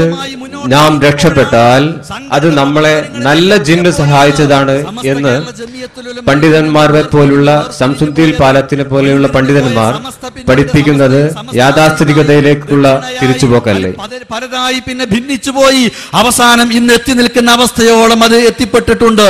എന്നാൽ ഇതുപോലെ തന്നെ കുറച്ച് കഴിഞ്ഞപ്പോൾ മുജാഹിദ് പ്രസ്ഥാനത്തോട് പറഞ്ഞു ആ പ്രസ്ഥാനത്തിന്റെ ഉള്ളിൽ നിന്ന ചില ആളുകൾ നിങ്ങൾ തന്നെ ഷിർക്കിലാണ് എന്ന് നിങ്ങൾ ഈ ഗവൺമെന്റിനെ അനുസരിക്കുന്നില്ലേ എന്ന് പറഞ്ഞുകൊണ്ടാണ് വിവാദത്തിന്റെ അർത്ഥം അനുസരണം എന്നാണ് ഈ ഗവൺമെന്റിനെ അനുസരിക്കൽ ഗവൺമെന്റിനുള്ള വിവാദത്താണ്. നമ്മുടെ പരമമായ ലക്ഷ്യം ഇവിടെ ഭരണം സ്ഥാപിക്കലാണ്. എന്ന് പറഞ്ഞ ആളുകൾ ഇസ്ലാഹി പ്രസ്ഥാനത്തിന്റെ ആദർശം ഉൾക്കൊണ്ടവരല്ല. അതുകൊണ്ട് തന്നെ മർഹൂം കെ സി അബ്ദുള്ള മൗലവി അദ്ദേഹത്തിന്റെ ചിന്താഗതി സ്വീകരിച്ച ആളുകൾ ഈ പ്രസ്ഥാനത്തിൽ നിന്ന് അങ്ങനെ വ്യതിചലിച്ച് വേർപിരിഞ്ഞു പോവുകയായിരുന്നു. ഇതേപോലെ തന്നെ ഇടക്കാലത്ത് വിശുദ്ധ ഖുർആാനും തിരുസുന്നത്തും പ്രചരിപ്പിച്ചുകൊണ്ടിരിക്കുന്ന അത്തരം പ്രവർത്തനങ്ങളിൽ മുഴുകിക്കൊണ്ടിരിക്കുന്ന ഘട്ടത്തിൽ അതാ വിശുദ്ധ ഖുർആാനിന് പരിഭാഷ എഴുതി എഴുതിപ്പോന്ന സി എൻ അഹമ്മദ് മൗലവിയെ പോലുള്ള ആളുകൾ സ്വന്തമായ ചില അഭിപ്രായങ്ങൾ എഴുതി പ്രചരിപ്പിച്ചപ്പോൾ മർഹൂം കെ മൗലവിയെ പോലുള്ള ആളുകൾ അദ്ദേഹത്തെ ഉപദേശിക്കുകയും അതിലുള്ള പോരായ്മകൾ ചൂണ്ടിക്കാണിക്കുകയും അത് തിരുത്താൻ തയ്യാറില്ലാതെ പ്രസിദ്ധീകരിക്കുകയും ചെയ്തപ്പോൾ പണ്ഡിതധർമ്മം എന്നുള്ള നിലയ്ക്ക് അദ്ദേഹത്തിന്റെ പുതിയ പിഴച്ച വാദങ്ങൾ തുറന്നു കാണിച്ചുകൊണ്ട് എഴുതുകയും വിശുദ്ധ ഖുർആാനിന് ശരിയായ ഒരു പരിഭാഷ വേണമെന്നുള്ള നിലയ്ക്ക് ആ പരിഭാഷയുടെ പ്രവർത്തനം അദ്ദേഹത്തിന്റെ നേതൃത്വത്തിൽ തുടങ്ങിയതാണ്. മർഹവും അമാനി മൗലവി പിന്നീട് പൂർത്തിയാക്കുകയും ചെയ്തിട്ടുള്ളത്. അതേപോലെ തന്നെ ഇടക്കാലത്ത് മൗലവി ചേകനൂർ യാഥാസ്ഥികനായിരുന്ന അദ്ദേഹം ജമാഅത്തെ ഇസ്ലാമിയുടെ ശാന്തപുരം ഇസ്ലാമിയ കോളേജിൽ അധ്യാപകനായി മുജാഹിദ് പ്രസ്ഥാനത്തിന്റെ സ്ഥാപനത്തിലേക്ക് ചേക്കേറുകയും തന്റെ പുതിയ വാദങ്ങൾ അവിടെ പറഞ്ഞു തുടങ്ങുകയും ചെയ്തപ്പോൾ അന്ന് അലവി മൗലവി അദ്ദേഹം നാട്ടിലേക്ക് പോയപ്പോൾ കത്തെഴുതി ഇനി എന്റെ കത്ത് കിട്ടിയിട്ട് തിരിച്ചു വന്നാൽ മതി എന്ന്. പിന്നെ കത്തെഴുതിയിട്ടില്ല അദ്ദേഹം മുജാഹിദ് പ്രസ്ഥാനത്തിലേക്ക് തിരിച്ചു വന്നതുമില്ല.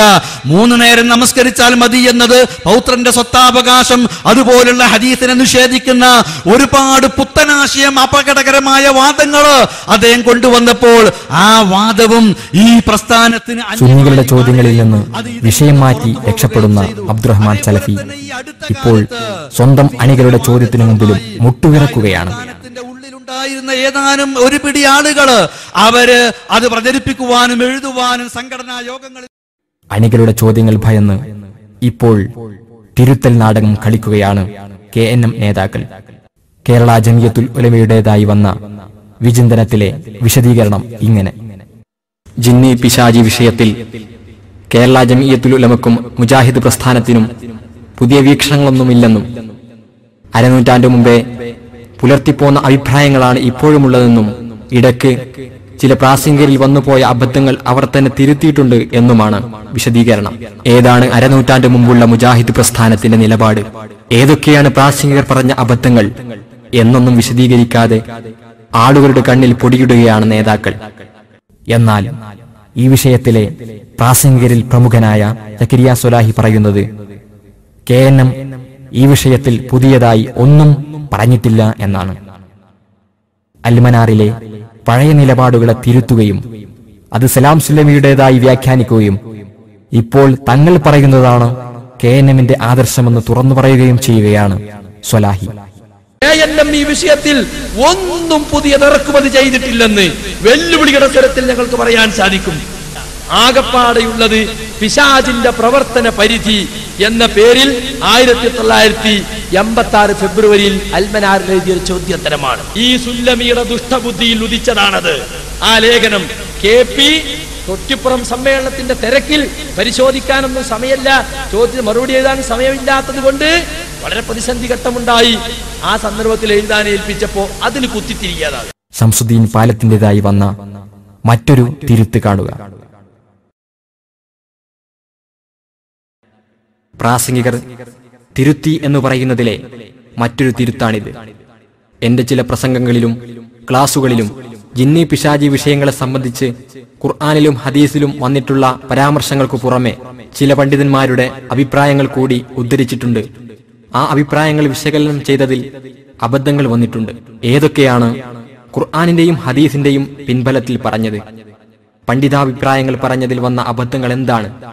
ഒന്നും വിശദീകരിക്കാതെ തന്ത്രപരമായി തിരുത്തുകൊടുത്തത് എന്തിനു വേണ്ടിയായിരുന്നു? ശംസുദ്ദീൻ പാലത്തുമായി നടത്തുന്ന അഭിമുഖം ശ്രദ്ധിക്കുക. അതെ. ആ ഞങ്ങളവിടെ ചെറിയൊരു വിഷയത്തിലാണ്. ഇപ്പൊ എന്താ വെച്ചാൽ ഓരോ ചർച്ചകൾ ഇപ്പൊ മൗലവിന്റെ ഒരു കാസറ്റ് ഉണ്ട് എന്നൊക്കെ പറഞ്ഞ ഇടാൻ നിൽക്കുന്നുണ്ട്. മറ്റേ ആ ജിത്തിന്റെ എന്താണ് ഇത് ശരിക്കും അതിനെ സംബന്ധിച്ച് ആനസിന്റെ മറുപടി അനസിന്റെ മറുപടികളുണ്ട് ഞാൻ യാത്രയിലാണ്. അനസിന്റെ ഒന്ന് രണ്ട് മറുപടി ആ നല്ലത്തെ പ്രോഗ്രാം ഇനിയിപ്പോ വിളിച്ചൊരു പ്രോഗ്രാം വരുന്നുണ്ട്. അല്ല അതിൽ ഇപ്പൊ ഒരു ജിമ്മിന്റെ ഒരാൾക്ക് അതൊക്കെ സംഭവം ശരി തന്നെയാണ് ഇപ്പൊ നമ്മൾ അതിലൊരു മിസ്റ്റേക്ക് ഉണ്ട്. മിസ്റ്റേക്ക് ഉണ്ട്. ഞാൻ വേറൊരു പുസ്തകത്തിൽ നിന്ന് വായിച്ചതാണ്. അപ്പൊ ആ പുസ്തകത്തിൽ അതിനെ ഗണ്ണനം വേറെ വന്നിട്ടുണ്ട്.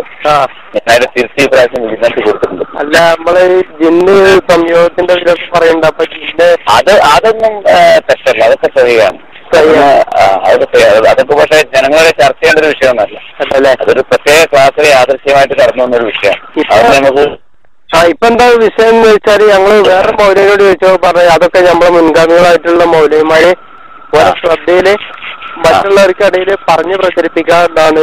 അത് അത് അങ്ങനെ തന്നെ അങ്ങനെ തന്നെയാണ്. ഇതിപ്പോ ഇവരാണല്ലോ പ്രചരിപ്പിക്കുന്നത് നമ്മളല്ലല്ലോ. നമ്മൾ നമ്മൾ പ്രത്യേകമായിട്ടൊരു ഗവേഷണാത്മകമായിട്ട് വിഷയത്തെ കുറിച്ച് ക്ലാസ് എടുത്തപ്പോ. പുതിയതിനെ ഉദ്ദേശിച്ച് എടുത്ത ക്ലാസ് അല്ല. അത് അപ്രതീക്ഷിതമായിട്ട് അവർ നമ്മൾ അന്വേഷണം ഒന്നും ഇല്ലാതെ അതിന്റെ തീരെയൊക്കെ ഇറക്കി. ആ. തന്നെ എന്റെ ഭാഷ ഇറങ്ങിയത്? ഇറങ്ങിയത് ഇറങ്ങി. ഇവരാണ് ഇപ്പൊ കൊണ്ടുപിടിച്ച് പ്രചരിപ്പിച്ച് നടക്കുന്നത്. അതെ. ഇപ്പൊ നമ്മളെ ഇരുപത്തി എന്നൊക്കെ പറഞ്ഞാൽ അവരൊക്കെ ഈ വിഷയത്തിൽ സലാം അലിയേക്കാളും മോശം മോശം കാഴ്ചപ്പാടുള്ളവരാണ്. ആര്? ഇരുപത്തിയൊന്നും ഒരു പണ്ഡിതനല്ല. അദ്ദേഹം ഈ വിഷയത്തെ പറ്റി പഠിച്ചിട്ടല്ല ഇല്ലല്ലേ ഇല്ല. ആത്ര അത്ര ഇരുപത്തി പറഞ്ഞത് കുത്തുബീര് നമ്മളെ പുതിയങ്ങാടിയിലെ. ഞാൻ ആ വാക്കുണ്ടായിരുന്ന ഒരു മൊഴി തന്നെയാണ്. അപ്പൊ പിന്നെ കുത്തുബീര് ആ. മൂപ്പരെ പറഞ്ഞത് ഇവരെ കേട്ടിട്ടാണ് കേട്ടു പോയത് നടക്കുന്നതാണ് അങ്ങനെ പറഞ്ഞെന്ന് പറഞ്ഞു. വ്യക്തിയെ സംബന്ധിച്ചിടത്തോളം ആ വിഷയത്തിൽ യാതൊരു കാഴ്ചപ്പാടും ഇല്ല ആ കേട്ടിട്ടിനിപ്പോ കേൾക്കാതിരിക്കൽ തന്നെ നല്ലതാണ് എന്റെയും വ്യക്തിപരമായ അഭിപ്രായം. ഇങ്ങനെ വിശ്വാസം ഉണ്ടാകുന്ന ഒരു വിഷയം അല്ല വരും നമ്മൾ ചില വിഷയങ്ങൾ വന്നു കഴിഞ്ഞാൽ നമ്മൾ അറിയുള്ളൂ. അതെ അതെ അതെ. ഏഹ് ചിലപ്പോ നമ്മൾ ചില സൂക്ഷ്മക്കുറവുള്ള ചില വിഷയങ്ങൾ അതിലുണ്ട് പക്ഷെ അതൊന്നും ഈ വിഷയമല്ല. ഇതൊന്നും ഇപ്പൊ നമ്മൾ മാത്രം ഇതൊക്കെ അഹമ്മദ് നമ്പലിനെ പോലത്തെ അധികം റിപ്പോർട്ട് ചെയ്ത ആൾക്കാർ രേഖപ്പെടുത്തിയ വിഷയങ്ങളാണ് ഞാൻ പറഞ്ഞത്. ഹനീഫന്റെ അഹമ്മദ് റിപ്പോർട്ട് റിപ്പോർട്ടാണ് ആ. വിഷയത്തിലൊക്കെ ഞാൻ നിങ്ങളിപ്പോ പറഞ്ഞ വിഷയത്തിലൊക്കെ ഞാൻ ഉദ്ധരിച്ചിട്ടുള്ളത് ഏ ഏഹ് അവരെന്നൊക്കെ പറഞ്ഞാൽ അധികം റിപ്പോർട്ട് ചെയ്ത ആൾക്കാരാണ് അതിന്. വിരുദ്ധമായിട്ട് ഒരു പറയില്ല. മറ്റേ നമ്മൾ പുസ്തകത്തെ കാലത്തെ പണ്ഡിതന്മാർ പറയണ കാര്യമല്ല ആ. ഇതിപ്പോ കുഞ്ഞാതാണ് ഇപ്പൊ ഭയങ്കര വിഷയാക്കിക്കണത് അല്ല അത് അധികകാലം വിഷയമില്ല ഇപ്പൊ കുറച്ച് കുറഞ്ഞ ദിവസം കൊണ്ട് ഇപ്പൊ തുടങ്ങി. നമ്മളിപ്പോ രണ്ടു മൂന്ന് പരിപാടികൾ കഴിഞ്ഞു. അനുസോദന്റെ അനസോലിന്റെ ഒക്കെ എല്ലാവർക്കും കൂടെ ആയിട്ട് പല സ്ഥലത്ത് തരാൻ പോവാം. നിങ്ങളെ കേസറ്റ് ഇട്ട് കണ്ടാണ് ഓൽ ഇപ്പൊ ഇങ്ങനെ പ്രചരിപ്പിക്കുന്നത്? കാസറ്റ് വല്ലാതെ ഇടുന്നതുകൊണ്ട് ഒരു തിരുത്തി ഞാൻ കൊടുത്തിട്ടുണ്ട് ഇപ്രാവശ്യം ശരി. അത് കാസറ്റ് ഇടാൻ പറ്റാത്ത രൂപത്തിൽ തിരിച്ചു കൊടുത്തിട്ടുണ്ട്. ഈ സുബരി ഡോക്ടർ പറഞ്ഞത് എന്താ വെച്ചാൽ പാപ്പിനെ മൂന്ന് ദിവസം അങ്ങനെയാണെങ്കിൽ വീട്ടിൽ നിർത്തണം എന്നൊക്കെ പറഞ്ഞിട്ടുള്ളത്. അതൊക്കെ മുസ്ലിമിലാണ് സഹി മുസ്ലിമിലെ സ്വഹിയായ ഹദീസാണ്. സുബൈർ ഡോക്ടർ നല്ല വിഷയം. ആ ശരി. അത് സഹിയായ ഹദീസാണ്. അങ്ങനൊന്നും അല്ലാതെ അത് എന്തറിയോ ആ വിഷയത്തിന്റെ ചില ഭാഗങ്ങളെ പ്രചരിപ്പിക്കപ്പെടുന്നുള്ളൂ. അത് വിശദീകരിച്ച് പറഞ്ഞാൽ മദീനയിലെ ചില ജനങ്ങൾക്ക് മാത്രം ബാധകമാണെന്നാണ് ഒരഭിപ്രായം. ആ.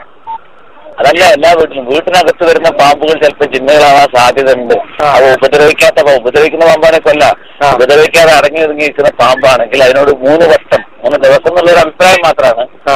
മൂന്ന് പ്രാവശ്യം പോ എന്ന് പറയണമെന്ന് സ്വഹീഹ് മുസ്ലിമിൽ ഹദീസുണ്ട് വാക്കല്ല. അത് ഞാൻ കേട്ടെ അതിന് മൂന്ന് ദിവസം എന്നാണ് കാണുന്നത്. അല്ല രണ്ടുണ്ട്. മൂന്ന് ദിവസം എന്നൊരു ഒരു റിപ്പോർട്ട് ഉണ്ട്. മൂന്ന് പ്രാ- പ്രാവശ്യം എന്നുണ്ട് രണ്ടായാലും അതിനോട് മൂന്ന് പ്രാവശ്യം പോകാൻ പറയണം. അതിപ്പോ പോകുന്നില്ലെങ്കിൽ പിന്നെ നമുക്ക് അതിനെ കൊല്ലാം. മനസ്സിലായില്ലേ? പിന്നെ പിറ്റേന്ന് വന്നാൽ പിറ്റേന്ന് അങ്ങനെ പറയണം അതിന്റെ അർത്ഥം. പിറ്റേന്ന് അല്ലേ ആ പോയി പിന്നെ പിറ്റേ ദിവസം വന്ന് ചോദിക്കാം അന്ന് നമ്മൾ എന്ത് ചെയ്യണം? പോകാൻ പറയണം. പോയിട്ടില്ലെങ്കിൽ നമുക്ക് കൊല്ലും ചെയ്യാം. ഇതിപ്പോ എന്താ അറിയോ? ഇതിപ്പോ മുമ്പ് സുബൈർ മങ്കട ആയിരുന്നു ഈ ഭാഗത്തിന്റെ ആൾ. അയാളിപ്പോ പോയപ്പോ വില ഇറങ്ങിയേക്കാണെന്നൊക്കെ പറഞ്ഞിട്ട് ഇപ്പൊ ഞമ്മ സുബേർ സുബൈർ മങ്കടയെ നമ്മൾ തമ്മിൽ സംഘടനാപരമായ വിഷയങ്ങളല്ലാതെ ആദർശപരമായ വിഷയത്തിൽ വലിയ സുബൈർ ഒരു കാ- കാഴ്ചപ്പാടുള്ള ആളാണ്. തിരുത്തൽ നാടകത്തിന്റെ പിന്നാമ്പുറം ഇവിടെ വെളിച്ചത്താകുന്നു. അദ്ദേഹത്തിന്റെ പ്രസംഗത്തിൽ പറഞ്ഞ കാര്യങ്ങളെല്ലാം ശരിയാണ്. ഹദീസ് റിപ്പോർട്ട് ചെയ്ത ആളുകൾ പറഞ്ഞ കാര്യങ്ങൾ മാത്രമേ ആ വിഷയങ്ങളിൽ അദ്ദേഹം ഉദ്ധരിച്ചിട്ടുള്ളൂവത്രേ. പിന്നെ തിരുത്തു തിരുത്തുകൊടുത്തത് സുന്നികൾ അത് ഉപയോഗിക്കാതിരിക്കാൻ വേണ്ടിയായിരുന്നു. അദ്ദേഹത്തിന്റെ വിഭാഗത്തിൽപ്പെട്ട അബ്ദുറഹ്മാൻ ഇരുവേറ്റി കെ വി അബ്ദുൽ ലത്തീഫ് മൗലവി തുടങ്ങിയവർ ഇതിനോട് വിയോജിക്കുന്നുണ്ടെന്നും അവർ സലാം സുലമിയേക്കാൾ മോശക്കാരാണെന്നും മൗലവി തുറന്നു പറയുന്നു. അതെ മൗലവി ഗ്രൂപ്പിൽ മറ്റൊരു പിളർപ്പിന്റെ അസ്വാരസ്യങ്ങൾ കൂടി പുകയുന്നു. വഹാബിസത്തിന്റെ സകല വികലവാദങ്ങൾക്കും യുക്തിവാദം കൊണ്ടും ഹദീസ് നിഷേധം കൊണ്ടും തെളിവുണ്ടാക്കി കൊടുത്ത അബ്ദുസലാം സുലമിയെ ഇപ്പോൾ ജിന്ന സിഹറ് വിഷയത്തിൽ തങ്ങൾക്കെതിരായപ്പോൾ മാത്രം ഹദീസ് നിഷേധിയും മുഷിരിക്കുമാക്കി ചിത്രീകരിക്കുകയാണ് മൗലവിമാർ. കാരണം അവരൊക്കെ പഴയ പണ്ഡിതന്മാരിൽ നിന്ന് സഹീൽ ബുഖാരിയുടെ മഹത്വം മനസ്സിലാക്കിയവരാണ്. സഹീൽ ബുഖാരിയുടെ ഹദീത്തുകളെ തള്ളുമ്പോ മുൻഗാമികൾ തള്ളിയിട്ടുണ്ടോ എന്ന് ആലോചിക്കുവാൻ പോലും ഈ സുല്ലമി മെനക്കെടുന്നില്ല. ഇയാളുടെ ബുദ്ധി ഇയാളുടെ ബുദ്ധിക്ക് യോജിച്ചതൊക്കെ എടുക്കാം. അല്ലാത്തൊക്കെ തള്ളുക. ഇയാളുടെ ബുദ്ധിക്ക് ഇന്ന് യോജിച്ചത് നാളെ യോജിച്ചോളണമെന്നില്ല. നാളെ യോജിച്ചത് മറ്റന്നാൾ യോജിച്ചോളണമെന്നില്ല. അങ്ങനെ മാറിക്കൊണ്ടിരിക്കുകയാണ്. അങ്ങനെ പ്രമാണങ്ങളെ പുച്ഛിക്കുന്ന ഈ പ്രവണത സുഹൃത്തുക്കളെ കേരളം മുഴുവനും പ്രചരിപ്പിക്കുവാനാണ് ഇവർ ശ്രമിക്കുന്നത് ഇതുപോലെ മൂപ്പര് ചെയ്ത ഒരു തിരിമറിയും കൂടി ഞാൻ കാണിച്ചു തരാം. ഒരുപാടുണ്ട് പക്ഷെ ഒന്നും കൂടി ഞാൻ കാണിച്ചു തരാം. വല്ലാത്തൊരു തിരിമറിയാണ്. ഇതിപ്പോ ബാക്കിൽ തള്ളി. ഇനി തൊട്ട് മുമ്പും ബാക്ക് ഒന്നിച്ച് തള്ളി നടുവത്ത് മാത്രം എടുത്ത ഒരു തിരിമറിയും കൂടി നിങ്ങളൊന്ന് കേൾക്കണം. ഇത് നടുവത്ത് മാത്രം മൂപ്പർക്ക് പറ്റുമെന്ന് കണ്ടപ്പോൾ അതാണ് എടുത്തത്. അതിന് തൊട്ട് മുമ്പുള്ള വാചകം എടുത്താൽ അത് പറ്റൂല. ശേഷമുള്ള എടുത്താലും അത് പറ്റൂല. അപ്പൊ നടുവത്ത് മാത്രം എടുക്കുക. ഇതാണ് ഒരു പണ്ഡിതന്റെ ദൗത്യം. ഈ മനുഷ്യനെ വിശ്വസിക്കാൻ പറ്റുമോ ഇതെങ്ങനെ വിശ്വസിക്കും. മുമ്പ് എഴുതിയൊക്കെ. വിശ്വസിക്കാൻ പറ്റില്ല നമുക്ക് മുമ്പ് അറിയില്ല ഇനി. പണ്ട് ചില ആൾക്കാർ പറയും കേനം വന്ന് പ്രസിദ്ധീകരിച്ചില്ല. ഉപര പുസ്തകം. ഞാൻ നമ്മുടെ ജമ്യത്തിന്റെ മുഹമ്മദ് മദനോട് ചോദിച്ചു. അല്ല സർ ഇങ്ങനെ ഒരു പ്രശ്നം ഉണ്ടല്ലോ. സുല്ലമിന്റെ പല ബുക്കും കെ എൻ എം പ്രസിദ്ധീകരിച്ച്. അപ്പൊ മദനി അപ്പെടുത്തിരു എന്താ ഇപ്പൊ കാട്ടെ? അവരൊക്കെ എഴുതിയാൽ തെറ്റായിരിക്കൂലേ നമ്മൾ വിചാരിച്ചു. നമ്മൾ ഇങ്ങനെ നോക്കിയെടുക്കും ഇപ്പൊ. ജിന്നിനുള്ള ഉപദ്രവം മറ്റു മനുഷ്യനുള്ള ഉപദ്രവം ഇഴജന്തുക്കളുടെ ഉപദ്രവം ഇതൊക്കെ തടുക്കാൻ ഓരോ മനുഷ്യന്റെ കൂടെയും ഓരോ മലക്കിനെ അള്ളാഹു ഏർപ്പെടുത്തിയിട്ടുണ്ട്. അങ്ങനെ ഏർപ്പെടുത്താത്ത ഒരു മനുഷ്യനുമില്ല. അപ്പൊ ഈ മലക്കിന്റെ സഹായം നിത്യേന നമുക്ക് ലഭിച്ചുകൊണ്ടിരിക്കുകയാണ്. അത് വിശ്വസിച്ചാൽ ശിർക്കായി എന്നാണ് ഈ സുല്ലമി പറയണത്. എന്താ ഇയാളെ കഥ? ഇത് മാത്രം ഇത് അലി അലി അള്ളാഹു എന്ന് പറഞ്ഞത് കേട്ടോളൂ. അലി അള്ളാഹു പറഞ്ഞതാ ഇങ്ങനെയും ജീവായത്ത് വന്നിരിക്കുന്നു.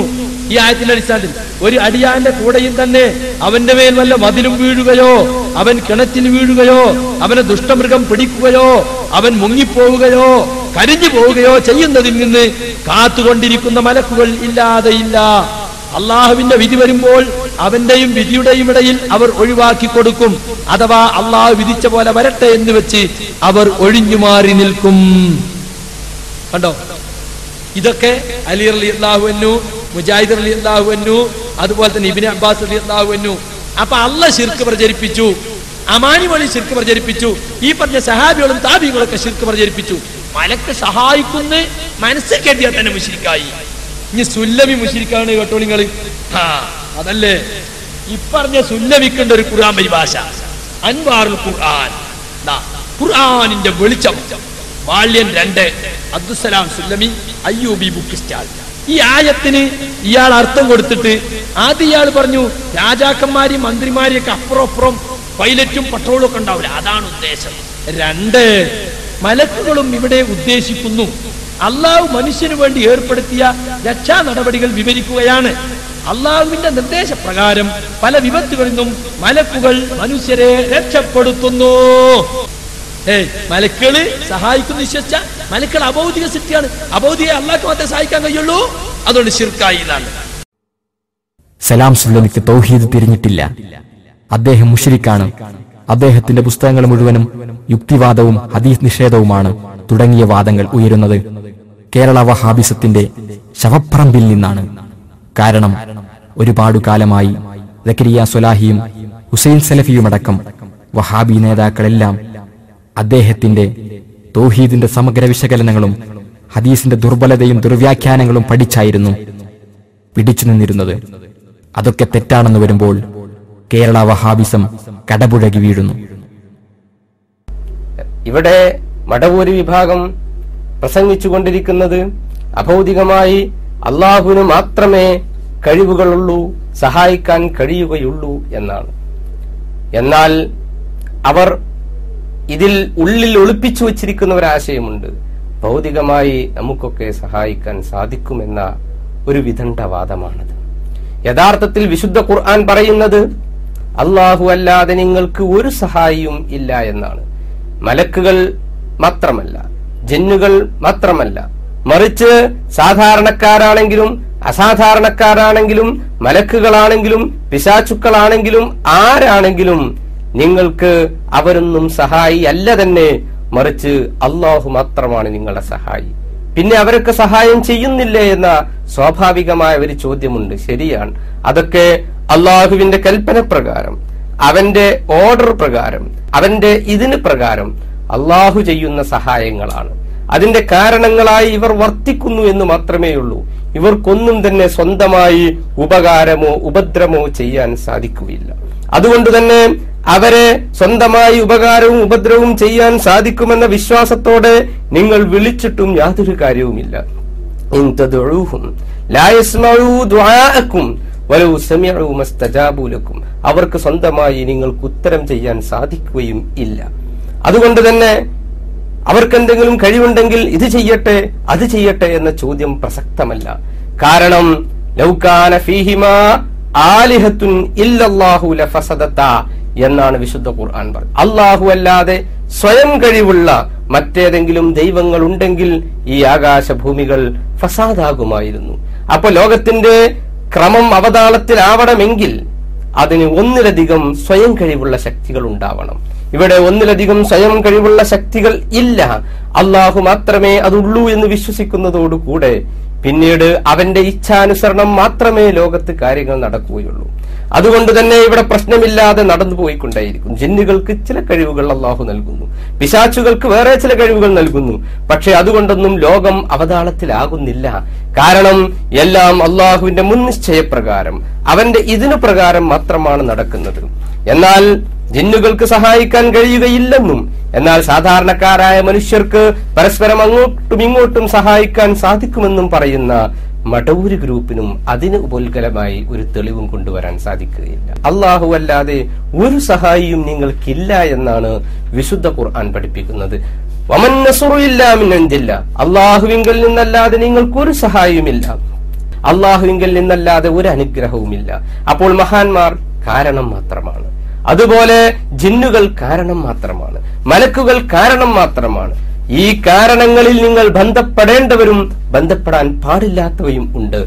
പക്ഷേ ഇവിടെ മൗലവി ഗ്രൂപ്പ് പറയുന്നത് പിശാചുക്കൾ സഹായിയാണ് ജിന്നുകൾ സഹായിയാണ്. പക്ഷേ മഹാന്മാരും പുണ്യാത്മാക്കളും സഹായിയല്ല. എന്നിങ്ങനെ പറഞ്ഞുകൊണ്ട് ഒരു വിഭാഗം പിശാച്ചിലേക്ക് ക്ഷണിച്ചുകൊണ്ടിരിക്കുമ്പോൾ മറു വിഭാഗം പറയുന്നത് ജിന്നും സഹായിയല്ല മലക്കും സഹായിയല്ല പിശാച്ചും സഹായിയല്ല. മറിച്ച് നമുക്ക് കാണാവുന്നത് മാത്രമാണ് നമ്മുടെ മുമ്പിലുള്ളത് മാത്രമാണ് സഹായികൾ. നാം സഹായിക്കുമെന്ന് കാണുന്നത് മാത്രമാണ് എന്ന് പറഞ്ഞു എന്ന് പറഞ്ഞുകൊണ്ട് ശരിക്കും യുക്തിവാദത്തിലേക്കാണ് അവർ നയിച്ചുകൊണ്ടിരിക്കുന്നത്. ഇങ്ങനെയുള്ള യുക്തിവാദം കൊണ്ട് അവർ പൈശാചികമായ പ്രേരണകളെ ഉയർത്തിക്കൊണ്ടുവരികയും അങ്ങനെ പിശാച്ചിന് ഇടം നൽകുകയും ചെയ്യുന്നു. ഒരു വിഭാഗം ഭൗതികതയെ പ്രസാദിപ്പിച്ചുകൊണ്ട് പൈശാചികതയെ തലോടുമ്പോൾ മറ്റൊരു വിഭാഗം സാക്ഷാൽ പിശാചിനെ സേവകളും അർച്ചനകളും ചെയ്തുകൊണ്ട് അവനോട് സഹായം ചോദിക്കുന്ന ഒരു തലമുറയിലേക്ക് വാതിൽ തുറന്നു കൊടുക്കുന്നു. തത്വത്തിൽ രണ്ടു കൂട്ടരും പിശാച്ചിലേക്കാണ് വിളിച്ചുകൊണ്ടിരിക്കുന്നത് എന്നാണ് നമുക്ക് മനസ്സിലാക്കാൻ സാധിക്കുന്നത്. ഈ പ്രതിസന്ധിക്കെതിരെ ഈ പ്രത്യയശാസ്ത്ര ജീർണതക്കെതിരെ പടപൊരുതേണ്ടത് ഓരോ സത്യവിശ്വാസിയുടെയും ബാധ്യതയായി നമ്മൾ മനസ്സിലാക്കുക. ഗൾഫിൽ നിന്നും പറ്റുന്ന അറബിപ്പണത്തിന് കൂറുകാട്ടി കേരള വഹാബിസത്തിലെ മൗലവി വിഭാഗം അടിമുടി മാറ്റത്തിന് വിധേയമാവുകയാണ്. സുന്നികൾക്ക് തൗഹീദും സുന്നത്ത് ജമാഅത്തും പഠിപ്പിക്കാനിറങ്ങിയ സംവാദവീരനായ ജക്കരിയ സൊലാഹി തന്നെ അക്കാര്യം വിശദീകരിക്കട്ടെ. സിഹിർ വലിക്കൂല സിഹിർ വലിക്കുന്നു വിചാരിച്ച കലാഖദറിനെതിരാണെന്നൊക്കെ പറഞ്ഞ് ഞാൻ പ്രസംഗിച്ചിട്ടുണ്ട്. പൊട്ടത്തരം. പിന്നീട് എനിക്ക് മനസ്സിലായി. ഹദീസുകൾ പഠിച്ചു. ഷെയ്ഖ് മുഹമ്മദ് നാസറുദ്ദീൻ അൽബാനിയെ കുറിച്ച് പഠിച്ചു. അതുപോലെ അറബിരകവുമായി ബന്ധപ്പെട്ട ധാരാളം ഗ്രന്ഥങ്ങൾ ശേഖരിച്ചു. അങ്ങനെ അലഹമില്ല നമുക്ക് മനസ്സിലായി അഹലുസുന്നത്തിന്റെ മാർഗം ഏതാണ്. സെലഫിയത്ത് എന്താണ്? കേരള വഹാബിസത്തിന് പുതിയ തൗഹീദും ചിന്താധാരകളും സമർപ്പിച്ച റഷീദ് രവയെ തെറ്റുപ്രചരിപ്പിച്ച ആളായാണ് ഇപ്പോൾ ഇവർ പരിചയപ്പെടുത്തുന്നത്. ഇനി ജിന്നു ലോകത്ത് നിഷേധിച്ചവർ സത്യവിശ്വാസികളിൽ വളരെ വിരളാണ് വളരെ കുറഞ്ഞ ആൾക്കാരാണ്. അത് നമ്മുടെ നാട്ടിലെ സി എൻ അഹമ്മദ് മൊലിയെ പോലത്തെ ആൾക്കാരും ആ കൂട്ടത്തിൽ പെട്ടിട്ടുണ്ട്. എന്ത്? അത് കാട്ടുവാസികളാണ് പ്രാകൃത ജീവികളാണ് അപരിഷ്കൃതരാണ് ആദിവാസികളാണ് എന്നൊക്കെ പറഞ്ഞിട്ട് അതിന് ഭൗതികമായ ചില ദുർവ്യാഖ്യാനങ്ങൾ നൽകാൻ വേണ്ടി ശ്രമിച്ച ആളുകളുണ്ട്. റഷീദ് റിതയെ പോലുള്ള ഉന്നതരായ ചില ഈജിപ്ഷ്യൻ പണ്ഡിതന്മാരും അത്തരം പിഴവുകൾ ഏറ്റെടുത്ത് പ്രചരിപ്പിച്ചവരാണ് എന്ന യാഥാർത്ഥ്യം നമ്മൾ മറക്കരുത്. കേരള മുജാഹിദുകൾക്ക് തൗഹീദ് പഠിപ്പിച്ചതും വിപ്ലവമുണ്ടാക്കി കൊടുത്തതും റഷീദ് രവയാണെന്ന് സലാം സുല്ലമി. പറഞ്ഞ ആരാൾ മനസ്സിലാക്കണം. ഉമർ അദ്ദേഹത്തിന് സെൽസബിയിൽ എഴുതി. എനിക്ക് ഹിദായത്ത് കിട്ടാൻ മൂന്ന് പണ്ഡിതന്മാരാണ് കാരണം എന്നറിഞ്ഞു അതിൽ ഒന്നാമത്തെ മാർ റഷീദുറിയ പിന്നെയാണ് കരിമൂലിൽ സെൽസബിയിൽ ഉമർ മൗലി സെൽസബിയിൽ എഴുതിയാണ്. എനിക്ക് ഹിദായത്ത് കിട്ടാനുള്ള മൂന്ന് ഉസ്താദുമാരാണ് ഒന്നാമത്തെ മാർ റഷീദുറിയ പക്ഷെ ഇന്നിവർക്ക് റഷീദൊന്നും സ്വീകാര്യമല്ല. നിങ്ങൾ ആ തിരുരങ്ങാടി ആ ലൈബ്രറി ചെന്ന് നോക്കി കെ എം മൗലവി ആ മജലത്തിൽ മണോ അട്ടിക്ക് വാങ്ങിച്ചത് കാണും. അപ്പൊ നമ്മുടെ നമുക്ക് വിപ്ലവം ഉണ്ടാക്കി തന്നെ നമുക്ക് തോഹീദ് പഠിപ്പിച്ചു തന്നത് മുഹമ്മദ് അബ്ദുൾ റഷീദ പോലുള്ള പണ്ഡിതന്മാരാണ് കെ എം മൗലവിയും വക്കം മൗലവിയും അലവി മൗലവിയും അടക്കം എല്ലാവരും പഠിപ്പിച്ച ആദർശങ്ങളെല്ലാം തെറ്റാണെന്നും പുതിയ ആശയങ്ങൾ സ്വീകരിക്കാൻ തയ്യാറാവണമെന്നും ജക്കരിയ സൊലാഹി അണികളോട് ആഹ്വാനം ചെയ്യുന്നു. പിന്നീട് കുറെ കാര്യങ്ങൾ ഇങ്ങനെ തലമുറ തലമുറയായി പറയുന്നു. ഓരോടങ്ങനെ ഓരോ തലമുറ മതി അടുത്ത തലമുറ മതി അങ്ങനെ. നമ്മളും തന്നെ കെ മോലി പറഞ്ഞു അലി മോലി പറഞ്ഞു അങ്ങനെ പറഞ്ഞു പറഞ്ഞു പറഞ്ഞു. ഇപ്പോഴുള്ള ഉദ്ഘാടനന്മാർ പറയുന്നു നമ്മളൊരു ഏച്ചി പറയുന്നു. ആ അവസ്ഥ പോയിട്ട് അവരൊക്കെ പറയുന്നത് നമ്മൾ കേൾക്കണം പഠിക്കണം. പക്ഷെ ഖുർആാനിന്റെ ഹദീസറ്റത്ത് സ്വന്തമായി നമ്മൾ കാണണം. നമ്മൾ എപ്പോഴും മനസ്സിലാക്കേണ്ടത് എന്താ അറിയോ? നമുക്ക് തക്ലീദില്ല തക്ലീദില്ലാതെ പറഞ്ഞാൽ മാത്രം പോരാ. ഇല്ലാത്ത സ്വഭാവം നമ്മൾ കാണിക്കണം. ഹദീസിനൊരു കാര്യമില്ലാത്തത് എത്ര വലിയ പണ്ഡിതം പറഞ്ഞാലും അത് ശരിയല്ലാന്ന് പറയാനുള്ള സങ്കുറ്റം വേണം. ഗ്രന്ഥങ്ങളിൽ ഒരു പ്രത്യേകതയില്ല. അത് ആചാരാജീവിത എനിക്ക് സന്ധ്യകാലം ഉള്ളൊരു എഴുതി വിട്ടു എന്ത് വേണം? പരിശോധിക്കണം. ഹദീസുകൾ വ്യക്തമായി വന്നിട്ടുണ്ട്. ലോകത്തുള്ള മുഹദ്ദിസുകൾ സർവരും എന്ന ഹദീസ് സഹിയാണെന്ന് സ്ഥാപിക്കാൻ ആ സുന്നത്തിനായിട്ടുള്ള അക്ഷരാലിയുടെ പുസ്തകം തന്നെ എഴുതിയിട്ടുണ്ട് അബ്ദുൽ ഖാദർ ഇദ്രീസ് ഒരു പുസ്തകം എഴുതിയിട്ടുണ്ട് നാസറുദ്ദീൻ അൽബാനി ഇജാലത്തു السهس والولد عن المتحير عن صحة حديث ما أظن روايته എന്ന് പറഞ്ഞ പുസ്തകം തന്നെ എഴുതി മുജാഹിദുകൾ ഇക്കാലമത്രയും സുന്നികളുമായും ജമാഅത്തുകാരുമായും തർക്കത്തിലുള്ള വിഷയങ്ങൾ മാത്രമേ പഠിച്ചിട്ടുള്ളൂവെന്നും ബാക്കിയുള്ള വിഷയങ്ങളിൽ ഒരുപാട് അബദ്ധങ്ങൾ വന്നുപോയിട്ടുണ്ടെന്നും ഖുർആൻ പരിഭാഷയിൽ പോലും അതുണ്ടെന്നും ജക്കരിയ സുലാഹി തുറന്നു പറയുന്നു പിന്നെ സുഹൃത്തുക്കളെ എനിക്ക് ഈ സന്ദർഭത്തിൽ പറയാനുള്ള മറ്റൊരു കാര്യം. നമ്മുടെ രാവിലെ വിദ്യാർത്ഥികളോടാണ് എനിക്ക് പറയാനുള്ളത്. നിങ്ങൾ ഖുർആാനും ഹദീസും പഠിച്ച് രാവിലെ രംഗത്തേക്ക് നമ്മൾ ചെത്തിക്കേണ്ട ഒരു കാര്യമുണ്ട്.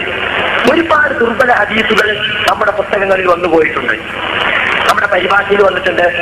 നമ്മൾ എഴുതിയ പല പുസ്തകങ്ങളും വന്നിട്ടുണ്ട്.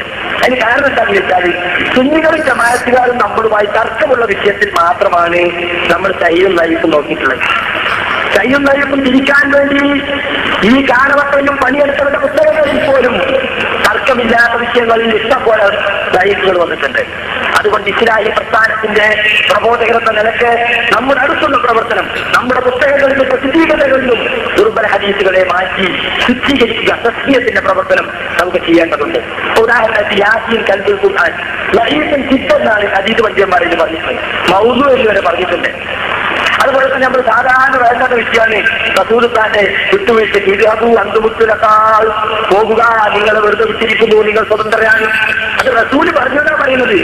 നമ്മളൊരു കാര്യം മനസ്സിലാക്കണം. റസൂൽ പറഞ്ഞു എന്ന് തെളിയാത്ത ഒരു കാര്യം നമ്മൾ പറയാൻ പാടില്ല. ഹദീസ് പഠിക്കുന്ന സമ്പ്രദായം മുജാഹിദുകൾ തുടങ്ങിയത് രണ്ടായിരത്തി രണ്ടിലെ സംഘടനാ പിളർപ്പിന് ശേഷമാണെന്ന് ഹാരിസ് ബിൻ സലീം ഐ സംസ്ഥാന വൈസ് പ്രസിഡന്റ് അപ്പൊ ഹദീസുകളെക്കുറിച്ച് പഠിക്കുന്ന ഒരവസ്ഥ നമ്മുടെ കേരളത്തിൽ വളരെ കുറവായിരുന്നു.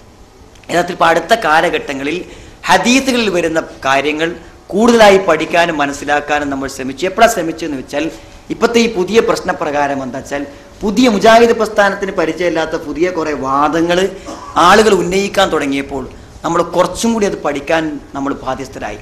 എന്ന് പറഞ്ഞാൽ നമ്മൾ പ്രസംഗം അയാളും പറഞ്ഞാണ് ദേവത്തെ നടത്തിയത്. ഇടക്കാലത്ത് വന്നിട്ട് പറഞ്ഞു നമ്മൾ ആൾക്കാർക്കൊക്കെ എന്തെങ്കിലും അരിയും തേങ്ങയൊക്കെ കൊടുത്താലും അതും ദേവത്ത് തന്നെയാണ് എന്ന് പറഞ്ഞപ്പോൾ അത് ദേവത്താണോ എന്ന് നമ്മൾ പരിശോധിക്കേണ്ടി വന്നു. പുതിയ പുതിയ കാര്യങ്ങൾ പഠിക്കാനും മനസ്സിലാക്കാനും ശ്രമിക്കുമ്പോൾ നമുക്ക് പുതിയ അറിവുകൾ കിട്ടും. ഞാൻ ഈ പറഞ്ഞ മുസ്ലിമിലെ ഹദീസുകളാണ് മിക്കവാറും ഉദ്ദേശിച്ചത്. സഹീഹ് മുസ്ലിം എന്ന് പറഞ്ഞാൽ എപ്പോൾ ഇന്നിറങ്ങിയതാ? എത്ര നൂറ്റാണ്ടുകൾക്ക് മുമ്പുള്ളതാണ്? അത് വായിച്ച് പഠിച്ച് ജനങ്ങൾക്ക് പറഞ്ഞു കൊടുത്തതാണ് മാത്രം. പൗരോഹിത്യത്തിന്റെ മൂർത്തീഭാവം. ഞങ്ങൾ പറയുന്നത് എന്താണെങ്കിലും അത് തെറ്റായാലും ശരിയായാലും നിങ്ങൾ അംഗീകരിക്കുക. നാളെ പരലോകത്ത് അള്ളാഹു വിചാരണ ചെയ്യുമ്പോൾ ഞങ്ങളെ വഴി വിഴപ്പിച്ചത് ഈ പണ്ഡിതന്മാരാണെന്ന് നിങ്ങൾ പറഞ്ഞാൽ മതി. അതേറ്റെടുക്കാൻ കേരള ജമിയത്തുലമ തയ്യാറാണ് എന്ന ടി പി അബ്ദുള്ള കോയമദിനിയുടെ പൗരോഹിത്യ പ്രസ്താവന ശ്രദ്ധിക്കുക. നേതൃത്വം പറയുന്നതിനെ ധിഖരിച്ചവർ അത് പ്രവാചകന്റെ അനുയായികളുടെ മാർഗമല്ല. അത് ധിക്കരിച്ച സന്ദർഭങ്ങളിലെല്ലാം നമ്മുടെ ജമായത്തിന് നമ്മുടെ സംഘടനക്ക് നമ്മുടെ സംഘത്തിന് നമ്മുടെ കൂട്ടായ്മക്ക് വലിയ അപകടകരമായ സന്ദർഭങ്ങൾ ഉണ്ടായിട്ടുണ്ട്. ഈ കാര്യം നാം പ്രത്യേകമായി ഓർക്കണം. നാം ഒരു പ്രതിസന്ധിയിലാണ്. നേതൃത്വത്തെ അംഗീകരിക്കാൻ നാം തയ്യാറാവുക. ആ നേതൃത്വം എടുത്ത തീരുമാനം അത് തെറ്റാണെങ്കിൽ ആ തെറ്റ് അവരിൽ ചുമത്താൻ നാം തയ്യാറാവുക. പരലോകത്തെ അള്ളാഹുവിന്റെ മുന്നിൽ റബ്ബെ ഇവർ പറഞ്ഞതിന്റെ അടിസ്ഥാനത്തിലാണ് ഞങ്ങൾ ഇതിനെ പിന്തുടർന്നത്. ഞങ്ങൾക്ക് അറിഞ്ഞുകൂടായിരുന്നു ഈ പണ്ഡിതന്മാരാണ് ഞങ്ങളെ വഴികഴിപ്പിച്ചത്. എന്ന് നിങ്ങൾ പറയുക. അത് ഏറ്റെടുക്കാൻ കേരള ജമീയത്തുള്ളവർ തയ്യാറാണ് എന്ന കാര്യം ഞാനിവിടെ പറയട്ടെ. കാരണം എന്താണെന്ന് അറിയാമോ? അറിയാവുന്ന കിട്ടാവുന്ന തെളിവുകൾ വെച്ചുകൊണ്ട് ഖുർആാനിന്റെയും സുനത്തിന്റെയും അടിസ്ഥാനത്തിൽ മറ്റാരെയും തോൽപ്പിക്കാനല്ല മറ്റാരെയും പരാജയപ്പെടുത്താനല്ല അള്ളാഹുവിൽ തോക്കുലാക്കിക്കൊണ്ട് സത്യം പറയുവാൻ ലക്ഷ്യമിട്ടുകൊണ്ട് ദീർഘമായ ചർച്ചകൾക്ക് ശേഷം ഞാൻ എപ്പോഴും പറയുന്നത് പോലെ അള്ളാഹുവിനെ തവക്കുലാക്കിക്കൊണ്ട് തീരുമാനം പ്രഖ്യാപിച്ചതാണ്. ഈ തീരുമാനം പ്രഖ്യാപിച്ചുകൊണ്ട് ഐക്യത്തിന്റെ നല്ല സാഹചര്യം ഉണ്ടായതിൽ സംതൃപ്തരായിക്കൊണ്ട് അള്ളാഹുവിന് ശുക്ർ ചെയ്ത ശുക്രന്റെ സുജൂതുകൾ ചെയ്ത ആളുകൾ അതിൽ ഭൂരിഭാഗം ആളുകളും. അന്ന് അള്ളാഹുവിന്റെ എന്റെ മുന്നിൽ ഈ സംഘടന യോജിപ്പിന് വേണ്ടി ഈ ഐക്യത്തിന് വേണ്ടി തീരുമാനമെടുത്തതിന്റെ പേരിൽ അള്ളാഹുവിനെ ആത്മാർത്ഥമായി നേതൃത്വത്തിന് വേണ്ടി പ്രാർത്ഥിച്ചവരാണ് ഈ സമുദായത്തിലെ ഈ പ്രസ്ഥാനത്തിലെ ഭൂരിഭാഗം ആളുകളും. അങ്ങനെയുള്ള ഒരു സാഹചര്യത്തിൽ ഈ തീരുമാനം എന്ത് ശരിയായിരുന്നാലും തെറ്റായിരുന്നാലും ശരി നിങ്ങൾ ഈ ഉലമാ സംഘടനയിലേക്ക് അതിന്റെ കുറ്റം നിങ്ങൾ ഇടുക. അല്ലെങ്കിൽ അതിന് ഗുണമിടുക. നിങ്ങൾ അതിനെ പിന്തുടരുക അനുസരിക്കുക. അതാണ് ഒരു സംഘടനയോട് ചെയ്യാനുള്ളത്. നോക്കൂ എത്ര ലാഘവത്തോടെയാണ് ഈ വിഭാഗം തൗഹീദിനെയും ഷിർക്കിനെയും മനസ്സിലാക്കിയത്.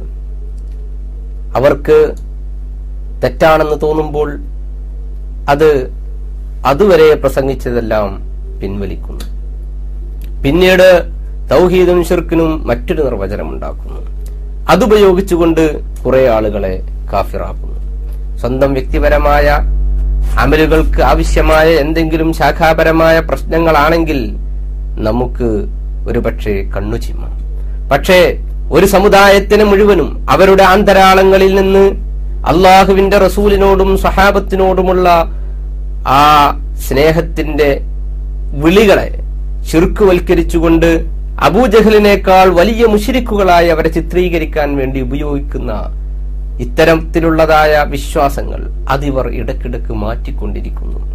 എന്നിട്ട് ഇതുവരെ പറഞ്ഞത് തെറ്റാണെന്ന് പ്രചരിപ്പിക്കുന്നു. അള്ളാഹുവിനെ കുറിച്ച് പുസ്തകം എഴുതിയ ആളുകൾ പിന്നീട് അടുത്ത എഡിഷൻ ആകുമ്പോൾ അള്ളാഹുവിനെ കുറിച്ച് നേരത്തെ പറഞ്ഞ വിശ്വാസം മുഴുവനും തിരുത്തി മറ്റൊന്നാക്കുന്നു. ആരാണ് മുജാഹിദിന്റെ അള്ളാഹു? അവന്റെ വിശേഷണങ്ങൾ എന്തൊക്കെ? എന്ന് ഒരു ശരാശരി മുജാഹിദിനോട് ചോദിക്കുമ്പോൾ അവന് വ്യക്തമായി ഉത്തരം പറയാൻ സാധിക്കുന്നില്ല. കാരണം കെ എം മൗലവിയും അതുപോലെയുള്ള മൗലവിമാരും അവരുടെ ഖുർആൻ പരിഭാഷകളിലുമൊക്കെ എഴുതിയ അള്ളാഹു അല്ല. ഇപ്പോൾ മുജാഹിദിന്റെ അള്ളാഹു എന്നത് ഏറ്റവും വിചിത്രകരമായ ഒരു വാദമായിരിക്കുന്നു. ഒരു കാലഘട്ടത്തിൽ അള്ളാഹുവിന്റെ കൈ എന്ന് പറഞ്ഞാൽ അള്ളാഹുവിന്റെ മുഖം എന്ന് പറഞ്ഞാൽ അവൻ അർശിൽ ഉപവിഷ്ടനായിരിക്കുന്നു എന്ന് പറഞ്ഞാൽ അതെല്ലാം അതിന്റെ വാചികമായ അക്ഷരാർത്ഥത്തിൽ മനസ്സിലാക്കാൻ പാടില്ലെന്നും മറിച്ച് വ്യാഖ്യാനിക്കണമെന്നും പറഞ്ഞിരുന്ന ആളുകൾ ഇപ്പോൾ അള്ളാഹുവിന് രണ്ട് കൈകളുണ്ടെന്നും രണ്ട് കൈയും വലതു ഭാഗത്താണെന്നും അള്ളാഹുവിന് മുഖമുണ്ടെന്നും കൈയും കണങ്കാലമുണ്ടെന്നും ഒരു കൈയിൽ ഭൂമിയും മറ്റേ കൈയിൽ ആകാശവുമാണെന്നും ഈ ആകാശങ്ങളിലേക്ക് അള്ളാഹു സുബാനഹുവത്താല ഇറങ്ങി വരുമെന്നുമൊക്കെ പ്രചരിപ്പിക്കുന്നു. തീർത്തും ഒരു ഹൈന്ദവ വിശ്വാസത്തിന്റെ ചുവയുള്ള അല്ലെങ്കിൽ മറ്റു ആർഷഭാരതത്തിൽ ഉള്ള ചില വിശ്വാസങ്ങൾ അവിടെയുള്ള ദേവീ ദേവന്മാരുടെ ചിത്രം അള്ളാഹുവിനെ കുറിച്ച് ഇവർ പ്രചരിപ്പിച്ചുകൊണ്ടേയിരിക്കുന്നു എന്ന് നമുക്ക് തോന്നിപ്പോവുകയാണ്. അപ്പോൾ ഇങ്ങനെ ഒരു പുതിയ അള്ളാഹുൽ വിശ്വസിക്കുമ്പോൾ പണ്ട് പഠിപ്പിച്ചിരുന്ന അള്ളാഹു ചിത്രത്തിൽ നിന്ന് ഇല്ലാതെയായി പോകുന്നു. അങ്ങനെ വരുമ്പോൾ അവർ നേരത്തെ പഠിപ്പിച്ച തൗഹീദ് തൗഹീദ് അല്ലാതായി തീരുന്നു അവർ നേരത്തെ പഠിപ്പിച്ച മറ്റുള്ള വിശ്വാസങ്ങൾ അത് ശരിയല്ലാതായി പോകുന്നു എത്രത്തോളം എന്ന് വെച്ചാൽ ഖുർആാനും ഹദീസും നമ്മൾ പരിശോധിക്കുമ്പോൾ വിവാദ വിഷയങ്ങളെക്കുറിച്ച് മാത്രമേ നാം ബോധവാന്മാരായിട്ടുള്ളൂ എന്നും അതുകൊണ്ട് തന്നെ പല ലൈഫായ ഹദീസുകളും നമ്മൾ പലപ്പോഴും ഉദ്ധരിച്ചു പോയിട്ടുണ്ടെന്നും അതൊന്നും ശരിയല്ലെന്നും നമ്മുടെ ഭാഗത്ത് വലിയ വീഴ്ചകൾ സംഭവിച്ചിട്ടുണ്ടെന്നും പറയുന്നിടത്തേക്ക് വരെ വഹാബിസം എത്തിയെന്ന് പറയുമ്പോൾ ഇവർക്ക് ദീൻ ഒരു കളിയാണ് എന്നാണ് മനസ്സിലാക്കുന്നത്. അവർക്ക് തോന്നുന്നത് ഇങ്ങനെ പറയുകയും അത് ഉൾക്കൊള്ളാനും സ്വീകരിക്കാനും ഒരു വിഭാഗത്തെ അവർക്ക് കിട്ടുകയും ചെയ്തിരിക്കുന്നു. ഇതിനാണ് സാക്ഷാൽ പൗരോഹിത്യം എന്ന് പറയുന്നത്. ഇസ്ലാമിൽ പൗരോഹിത്യമേ ഇല്ല. എന്നാണ് ഹബീബ് റസൂലുള്ളാഹി സ്വല്ലല്ലാഹു അലൈഹി വസല്ലമ തങ്ങൾ നമ്മെ പഠിപ്പിച്ചിട്ടുള്ളത്. ലാ ഇസ്ലാം. ഇസ്ലാമിൽ പൗരോഹിത്യമില്ല. പക്ഷേ ഇവിടെ പ്രചരിപ്പിച്ചുകൊണ്ടിരിക്കുന്നത് എന്താണ് നാളെ പരലോകത്ത് വെച്ച് പോലും നിങ്ങളുടെ തെറ്റുകൾ ഏറ്റെടുക്കാൻ ഞങ്ങൾ തയ്യാറാണ് എന്ന് പറയുകയും നേതൃത്വത്തെ നിങ്ങൾ അനുസരിച്ചു കൊള്ളുക എന്ന് പ്രചരിപ്പിച്ചു കൊണ്ടിരിക്കുകയും ചെയ്യുമ്പോൾ ഹൃദയമുള്ള ചിന്തയുള്ള മസ്തിഷ്കമുള്ള സാധാരണക്കാരായ മുജാഹിദ് പ്രവർത്തകർ ഒന്ന് ആലോചിക്കേണ്ടതുണ്ട്. മുൻകാലക്കാരായ ആളുകൾ പേച്ചുപോയത് എന്തുകൊണ്ടാണ്? വിശുദ്ധ ഖുർആൻ പറഞ്ഞത്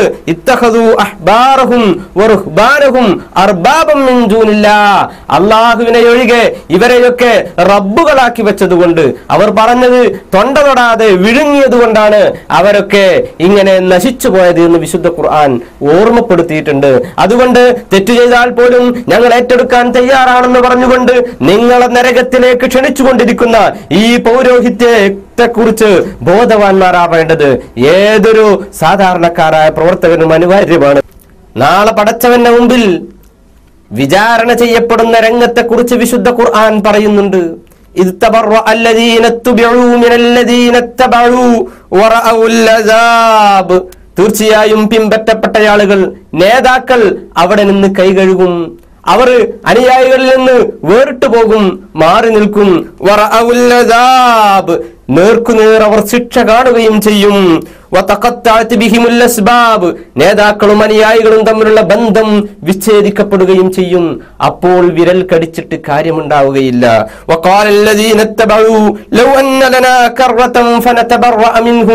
പിൻപറ്റിയ അനുയായികൾ നാളെ വെച്ച് പറയും ഞങ്ങൾക്കെങ്ങാനും ഇനിയും ഈ ദുനിയാവിലേക്ക് വരുവാൻ ചാൻസ് കിട്ടുകയാണെങ്കിൽ ഈ നേതാക്കന്മാരെ ഞങ്ങൾ പിൻപറ്റുകയില്ല. അതുകൊണ്ട് കാര്യമുണ്ടാകുകയില്ല. നോക്കൂ നിങ്ങൾ ഒരു കാലത്ത് സലാം സല്ലമി പഠിപ്പിച്ചതനുസരിച്ച് സെഹുറും മറഞ്ഞ മാർഗത്തിൽ അള്ളാഹു അല്ലാത്തവർ സഹായിക്കുമെന്ന് വിശ്വസിച്ചിരുന്നത്. ഷിർക്കാണെന്ന് പഠിപ്പിക്കുകയും പ്രചരിപ്പിക്കുകയും ചെയ്ത മൗലവി. പിന്നീട് നാസറുദ്ദീൻ അൽബാനിയുടെ പുസ്തകം വായിച്ചപ്പോ അതൊന്നും ഷിർക്കല്ല എന്ന് പ്രചരിപ്പിക്കുകയും ഇതുവരെ പറഞ്ഞത് തെറ്റാണെന്ന് പറയുകയും ചെയ്യുന്നു. മറ്റൊരിക്കൽ ഇനി അദ്ദേഹം മറ്റൊരാളുടെ പുസ്തകം വായിച്ച് മറ്റൊരു ഷിർക്കും തൗഹീദും ഉണ്ടാക്കുമ്പോൾ അപ്പോൾ നിങ്ങൾ എന്ത് ചെയ്യും? അതുകൊണ്ട് ഇനിയും ഇദ്ദേഹം നയം മാറ്റുമോ എന്ന് നിങ്ങൾക്കറിയുമോ? മഹാനായ ഷാഫി ഇമാമിനെയും മഹാനായ നഫി ഇമാമിനെയും ഒക്കെ പിൻപറ്റിയതിന്റെ പേരിൽ നരകത്തിലേക്ക് ക്ഷണിക്കുന്നു എന്ന് പറയുന്ന ആളുകൾ ഇവർ നിങ്ങളെ സാക്ഷാൽ നരകത്തിലേക്കാണ് കൊണ്ടുപോകുന്നത് എന്ന് ബുദ്ധിയും മസ്തിഷ്കവുമുള്ള സാധാരണക്കാരായ പ്രവർത്തകർ മനസ്സിലാക്കുന്നത് നല്ലതാണ്. ഹൃദയമുള്ള മുജാഹിദ് സുഹൃത്തുക്കൾ ചിന്തിക്കേണ്ട സമയമാണിത്. അധികാരത്തിനും പണത്തിനുമനുസരിച്ച് അടിസ്ഥാന പ്രമാണങ്ങളിൽ തിരിമറി നടത്തിയും വിശ്വാസാചാരങ്ങളെ നാൾക്കുനാൾ തിരുത്തിയെഴുതി അത് ഖുർആാനിന്റെയും സുന്നത്തിന്റെയും മേൽ കെട്ടിവെക്കുകയും ചെയ്യുന്ന തട്ടിപ്പ് ഇനിയും നമ്മൾ അംഗീകരിച്ചു കൊടുക്കേണ്ടതുണ്ടോ? മുജാഹിദിലെ ജംഇയത്തുൽ ഉലമ എന്തു പറഞ്ഞാലും അത് വിശ്വസിക്കാൻ പാവം ജനങ്ങളുണ്ട് എന്ന വിശ്വാസമല്ലേ? ഈ നേതാക്കളെ ഇതിന് പ്രേരിപ്പിക്കുന്നത് മഹദൂമുമാരുടെയും മമ്പുറം തങ്ങളുടെയും ഉമർഖാലിയുടെയുമൊക്കെ നവോത്ഥാന പാരമ്പര്യത്തിൽ ഒന്നായി കഴിഞ്ഞിരുന്ന മുസ്ലിം സമൂഹത്തിലേക്ക് ശൈഥില്യത്തിന്റെ വിത്തുപാകി അവതരിച്ചത് റഷീദ് റിലയുടെ യുക്തിവാദവും ഇബിൻ അബ്ദുൽ വഹാബിന്റെ പൗരോഹിത്യ പ്രസ്ഥാനവുമാണെന്ന് വൈകിയെങ്കിലും തിരിച്ചറിയുക. അവ വലിച്ചെറിഞ്ഞ് കേരളീയ മുസ്ലിങ്ങളുടെ പഴയ പൈതൃകത്തിലേക്കും പാരമ്പര്യത്തിലേക്കും തിരിച്ചു നടന്ന് സത്യത്തിന്റെ വക്താക്കളാവുക. തെറ്റുകൾ ആത്മാർത്ഥമായി തിരുത്താനും നേരായ വഴിയിൽ സഞ്ചരിക്കാനും അള്ളാഹു നമ്മെ അനുഗ്രഹിക്കട്ടെ എന്ന പ്രാർത്ഥനയോടെ ചിന്തിക്കുന്ന ഹൃദയങ്ങൾക്ക് മുമ്പിൽ ഞങ്ങൾ ഈ ഉദ്യമം സമർപ്പിക്കുന്നു.